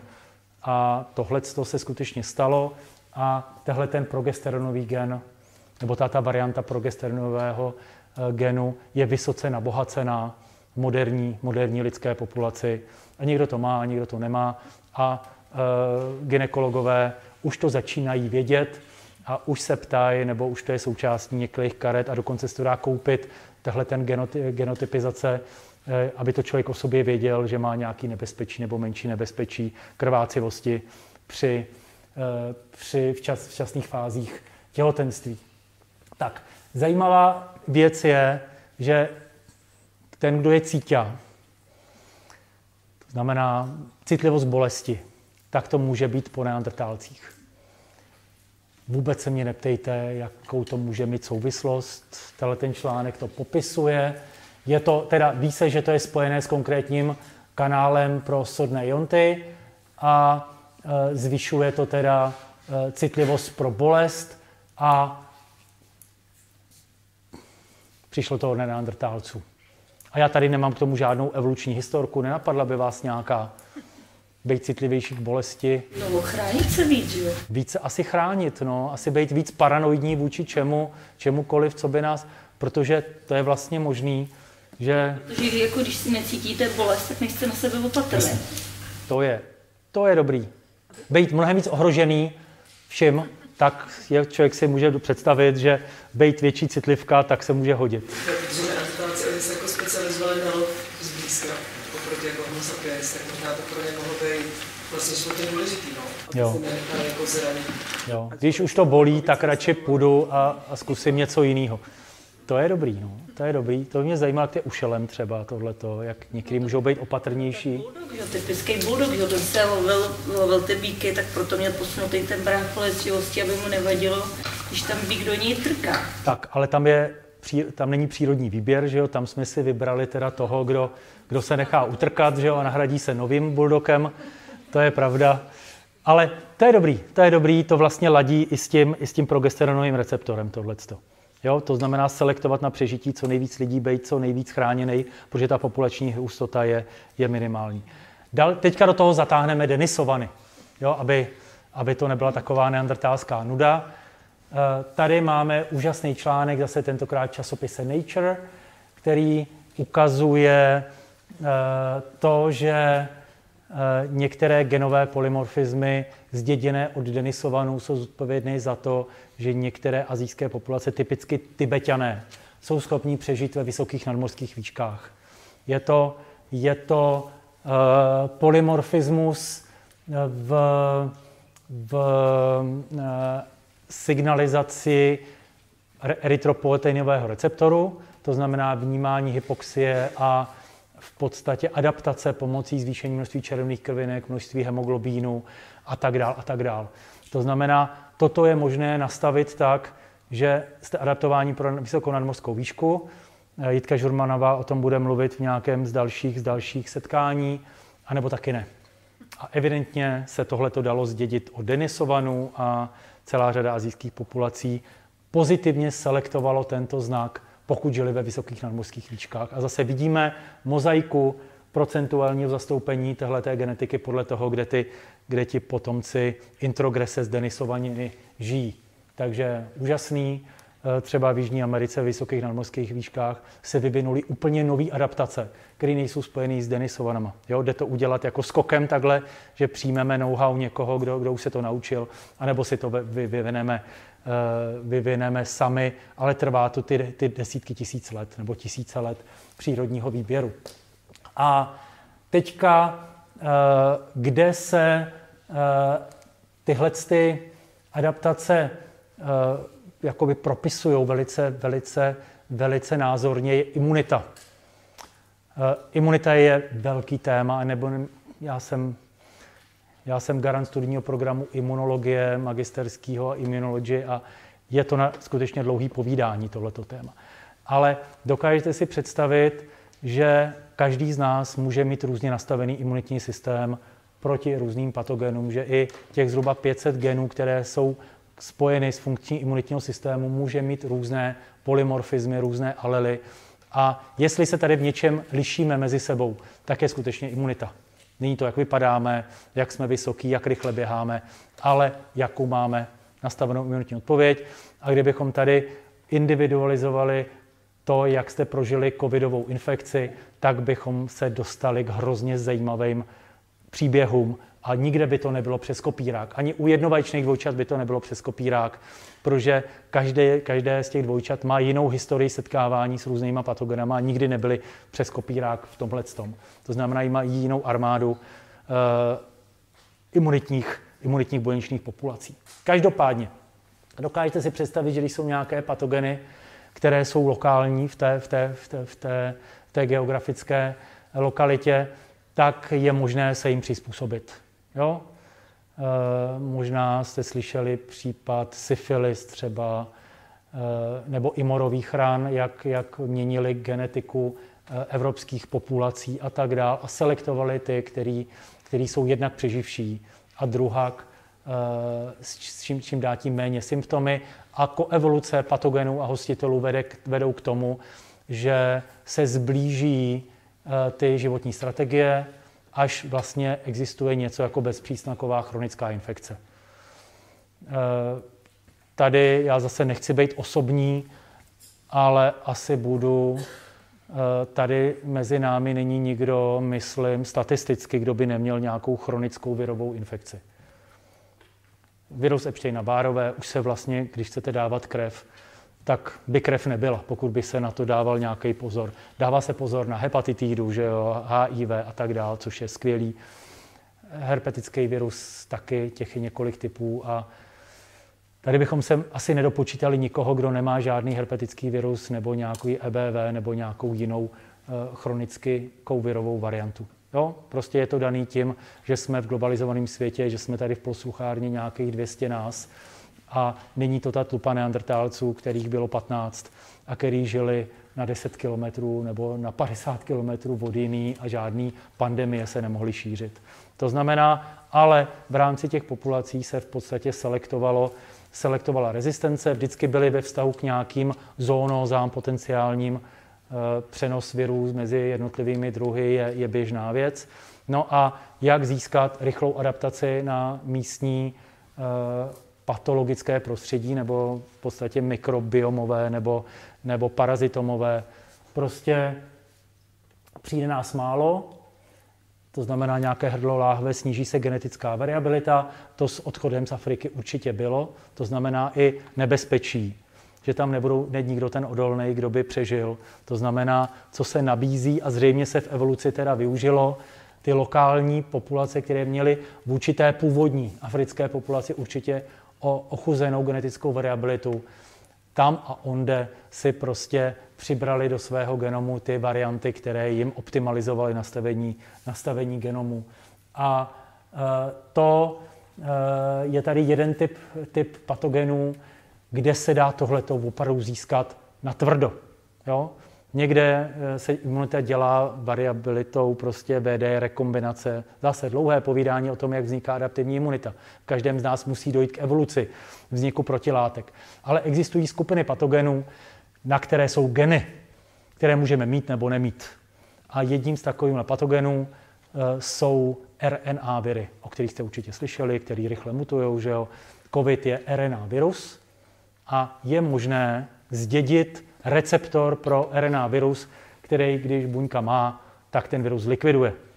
A není skoro žádný COVID, když to takhle zjednoduším. Jo? To znamená, pro RNA viry existuje tvrdá genetika a typicky je to mozaika po různých lidských populacích po naší planetě podle setkávání s konkré- evolučně s konkrétními typy, typy RNA virů. A tady je úžasný článek, který tohleto popisuje a ukazuje, jak při křížení s neandertálci lokálně vedlo k tomu získání know-how proti konkrétním RNA virům v podstatě v jednom křížení a pozitivní selekce těch genů, které eh, tohleto rozpoznávají. A to samozřejmě vedlo k tomu podívat se, jak to je s neandertálci a s tou introgresí. Byla tady covidová situace, která byl takový jako unikátní experiment, který ukazoval tu individuální responzi jednotlivých lidí na tuhletu covidovou infekci. V podstatě od těch, kteří vůbec nikdy nezažili žádný projev nemoci, přesto byli pozitivní a evidentně infikovaný, až po ty, kteří na to umřeli, anebo měli ty dlouhodobý těžký covidový stavy, který se museli zachránit eh, s vynaložením maximální eh, know-how vlastně moderní medicíny. To znamená, to kromě toho, že víc umírali muži a obézní muži a, a z hlediska předchozích přednášek už, už víte, proč to tak bylo, tak, eh, tak je to, se to propsalo, dohledali se geny, které jsou zodpovědné za to nebo jiné, jiné, jiné chování vůči covidu. A tady může, a možná jste zaznamenali, že když byla Nobelova cena udělená, že vlastně imunologie byla zmiňovaná jako docela s vykřičníkem a že to prodalo tu Nobelovu cenu protože Svante Pébo, kromě toho, že objevil tu neuvěřitelnou věc, že jsme se skřížili s neandertálcemi, tak pro spoustu lidí by to možná nestačilo, kdyby některé ty objevy vlastně nebyly spojeny s covidem. To je taková jako mediální zkratka. Každopádně uh, objevili gen, který je hlavní genetický riskový, riskant, riskový faktor pro těžký covid, byl zděděn z neandertálců. Mediální bomba. No, takže uh, je to genetická variabilita na konkrétním chromozomu, krásně se to dalo kvantitativně zhodnotit, která něco dělá s imunitním systémem. A to, co dělá s imunitním systémem, tak z něj dělá takovou imunologickou citlivku, takového imunologického hysterika. To znamená být víc reaktivní, než by měl vůči relativně normálním patogenním stimulům. To znamená, asi nepřekvapají, že se to spojuje s některýma zánětlivými stavama, s některýma typama autoimunit, ale eh, člověk si dokáže představit, že v určitém kontextu konkrétního patogena, který byl limitující pro konkrétní populaci, se to hodilo. Mít velice rychlej imunitní systém. Jo? I my v sobě neseme třeba polymorfismus CCR5 genu, který evidentně byl modulován těmi, těmi infekcemi středověkými a nabohacoval v evropské populace ty, kteří měli pomalejší imunitní systém a imunitní systém vlastně nezabil toho, toho jedince předtím, než by ho využil relativně míru milovný patogen. To znamená, to jsou věci, které se propisují do naší genetické informace, jsou to selekce a tady vlastně uh, určité procento lidí získalo tohle ten polymorfismus a tady můžete vidět mapu, která ukazuje, kolik tohodle, tohodle polymorfismu je v různých populacích na, na, na naší zemi. To znamená, vidíte tady v Evropě málo této alely z nějakých důvodů a zase to může být kontraselekce těmi morovými ranami, podobně jako na CCR5. A tady můžete vidět třeba Indie nebo Papua Nová obrovské množství uh, této riskantní alely, nebo risk těžkého covidu zvyšující alely. A možná jste zaznamenali v covidových dobách v Británii že byla velká aféra o přístupu ke zdravotní péči pro různá etnika a že tam byli třeba Indové, že umírali dvakrát až třikrát častěji na COVID. A myslím si, že ministra, myslím, že zdravotnictví skoro vyhodili, nebo že se o tom vedla velká debata, že to je, že to je nekorektní. A teďka to vypadá, že když se nasadí vlastně na mortalitu covidu a na těžký průběh covidu tahle ta genetická mapka, tak vlastně se tím odpoví na tu záhadu, která tady byla. Můžu se zeptat takhle na, u toho grafu, když se koukám na tu Čínu, tak jako ty nedodali informace, anebo? Tam je to problematický s informacemi, nebo ty informace, které se ukazují málo. Jo? Tady to ukazuje, to vypadá, že, že, mě... že nemají. Že nemají. Uh, to, co je ta sil, že jo, tam, tam to bylo tak, že oni, uh, ty, ty který vlastně, co byly do, dostupné ty data, tak oni měli hodně genomů osekvenovaných z toho projektu milion British Genomes, to znamená, měli tam ty různé etnika v ty Británii a vlastně potom to přisuzovali vlastně těm jednotlivým lokacím a je, je, je ta metodika komplikovanější. Chápu, že tady ta Čína, Čína je divná, že jo, ale e, potom opravdu, když se podívali podrobně na tu epidemiologickou situaci v Británii, tak to vysvětlovalo vlastně vyšší mortalitu lidí s, nějakou, s nějakým povodem než jiných. To znamená, eh, tady určitě z vás někdo půjde na medicínu, nebo už studuje třeba medicínu. Teďka to zní jako rasismus, jo? ale něco jako etnomedicína v tom smyslu, že tady jsou nějaké vyšší incidence, na které dávat pozor, když člověk pochází od někud, podobně jako etnofarmakologie, to znamená, lišíme se eh, lidskými variantami v tom, jak efektivně enzym odbourává konkrétní lék a někomu můžeme dát dávku a nestačí a někoho můžeme tou dávkou v podstatě ohrozit na životě, je něco, co se asi bude dělat mnohem víc a nebude to v podstatě rasismus, ale bude to se jmenovat jinak, mnohem honosněji personalizovaná medicína. Protože to reflektuje naši diverzitu a součástí té diverzity je tohle, o čem, o čem se tady, o čem se tady, se, se tady bavíme. A pak ještě tam, jak si mluvil tam o té hysterii toho imunitního systému, tak jedním z těch projevů je třeba ta cytokinová bouře. Přesně tak. To je přesně o cytokinové bouři. Jo? Normální imunitní systém se probudí, aktivuje se, bojuje, jde spát. Nejde spát. Spáchá sebevraždu v 99% těch válečníků. Ale je to součást toho příběhu, že to skončí. Že se demobilizuje, protože kdybychom hromadili ty, ty vojáky imunitní po každé infekci, tak za chvilku se nejsme nic jiného než kasárna. Jo? Takže to nefunguje. A navíc je to nebezpečný, protože to může být autoimunitní, že jo, a tak dál, a tak dál. To znamená, součástí toho je ta demobilizace, ale v některých případech a v některých kontextech k tomu nedojde a prodlužuje se vlastně ta, ta válečná. A, a cytokinová bouře je přesně to jak, to, jak to pojmenovává ten imunitní systém. Dojde tam k systému pozitivních zpětných vazeb, které nenechají usnout tomu imunitnímu systému. Je takové zbláznění se těch imunitních mechanismů. A teďka trošku radostnější věc. Zase já nepůjdu úplně do detailů, ale zase tady máme naopak větší výsek koláče v Evropě a tak jako se našel gen, který zvyšuje nejvíc risk těžkého covidu, tak se našel i gen, který je nejsilnější pro nemít žádný covid, přesto být pozitivní pro SARS-CoV-2 a opět přišel od neandertálců. I to nejhorší, i to nejlepší vlastně se propisuje do neandertálské introgrese, takže tady je další článek a tady je asociace s protekcí proti ochranou proti těžkému covidu. Zase sděleno. Eh, a to je to, co bylo součástí příběhu Nobelovy ceny a, a, a Svante, Svante Péba. A tady, tady už je to trošku jako rozptýlený po, po geograficky trošku korektnějším způsobem. A e, já jsem tady, já jsem tady vedl e, e, rozpravu e, na téma, které vlastně začíná pokroky, pokroky v metodikách přírodojedného výzkumu. Kdybychom neměli jako fakt dobrou chemii, fyziku, biologii dohromady e, s nějakým přesahem do biomedicíny, tak by to celé vůbec nemohlo fungovat.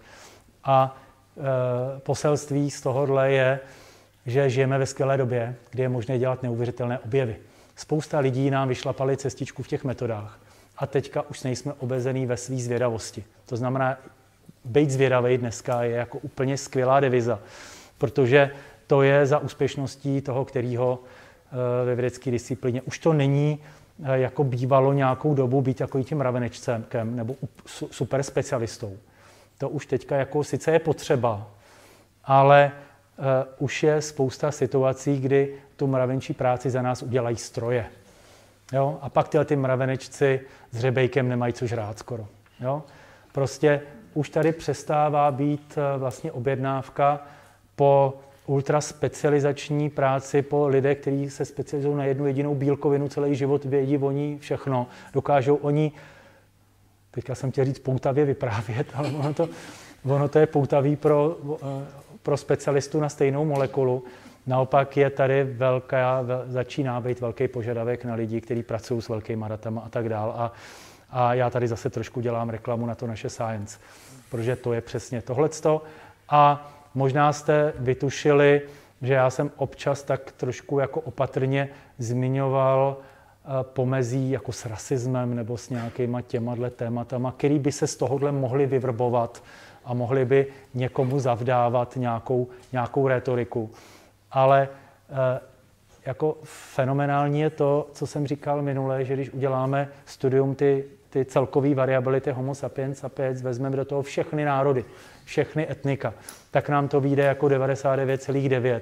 Stejně jako když se podíváme na ty lokální uh, populace homo sapiens. To znamená, tady všechno tohle, co jsem vám tady říkal, vůbec neeroduje vlastně představu o, o společném lidství všech, všech, všech lidí tady na planetě a spíš to rozšiřuje. A rozšiřuje to na některé naše předky, který vlastně byli, nechci říct ochotní, ale tak už to dopadlo, sdílet svoje evoluční know-how. A tady v podstatě eh, obrázek ze, z Bčkového hollywoodského bijáku, ale ta xenofilnost naše evoluční vlastně nám byla určitě na prospěch v mnoha různých ohledech. To, že eh, někdo to má s těma knedlikama tak, jak to má, to znamená přibírá a tak dál, tak, tak jako jo. Ale na druhou stranu spousta toho evolučního úspěchu, který se stal, tak by se nestal bez toho, kdyby se někdy v nějakým konkrétním čase neoble, ne, ne, neobjevili naši, naši bratránci. A myslím si, že i olympijské hry by byla mnohem větší nuda. Jo? A nebyly by tam výkony, které by vlastně díky tomuhle přikřížení e, jako nebyly, nebyly vůbec možné. Takže e, sportovní tečka.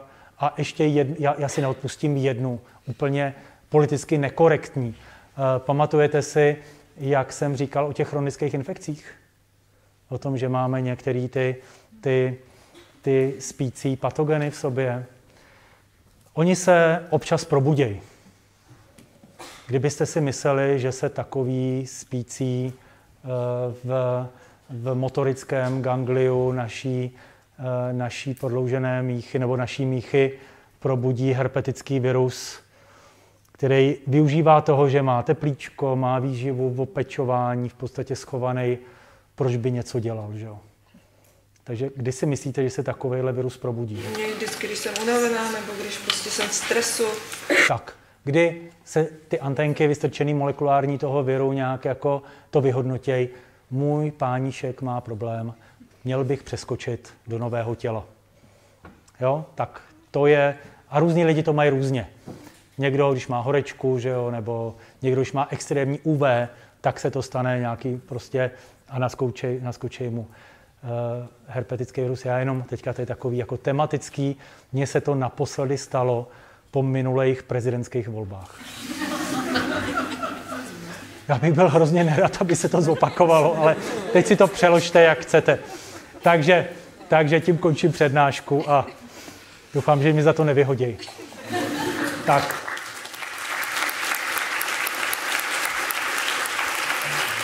Děkuju.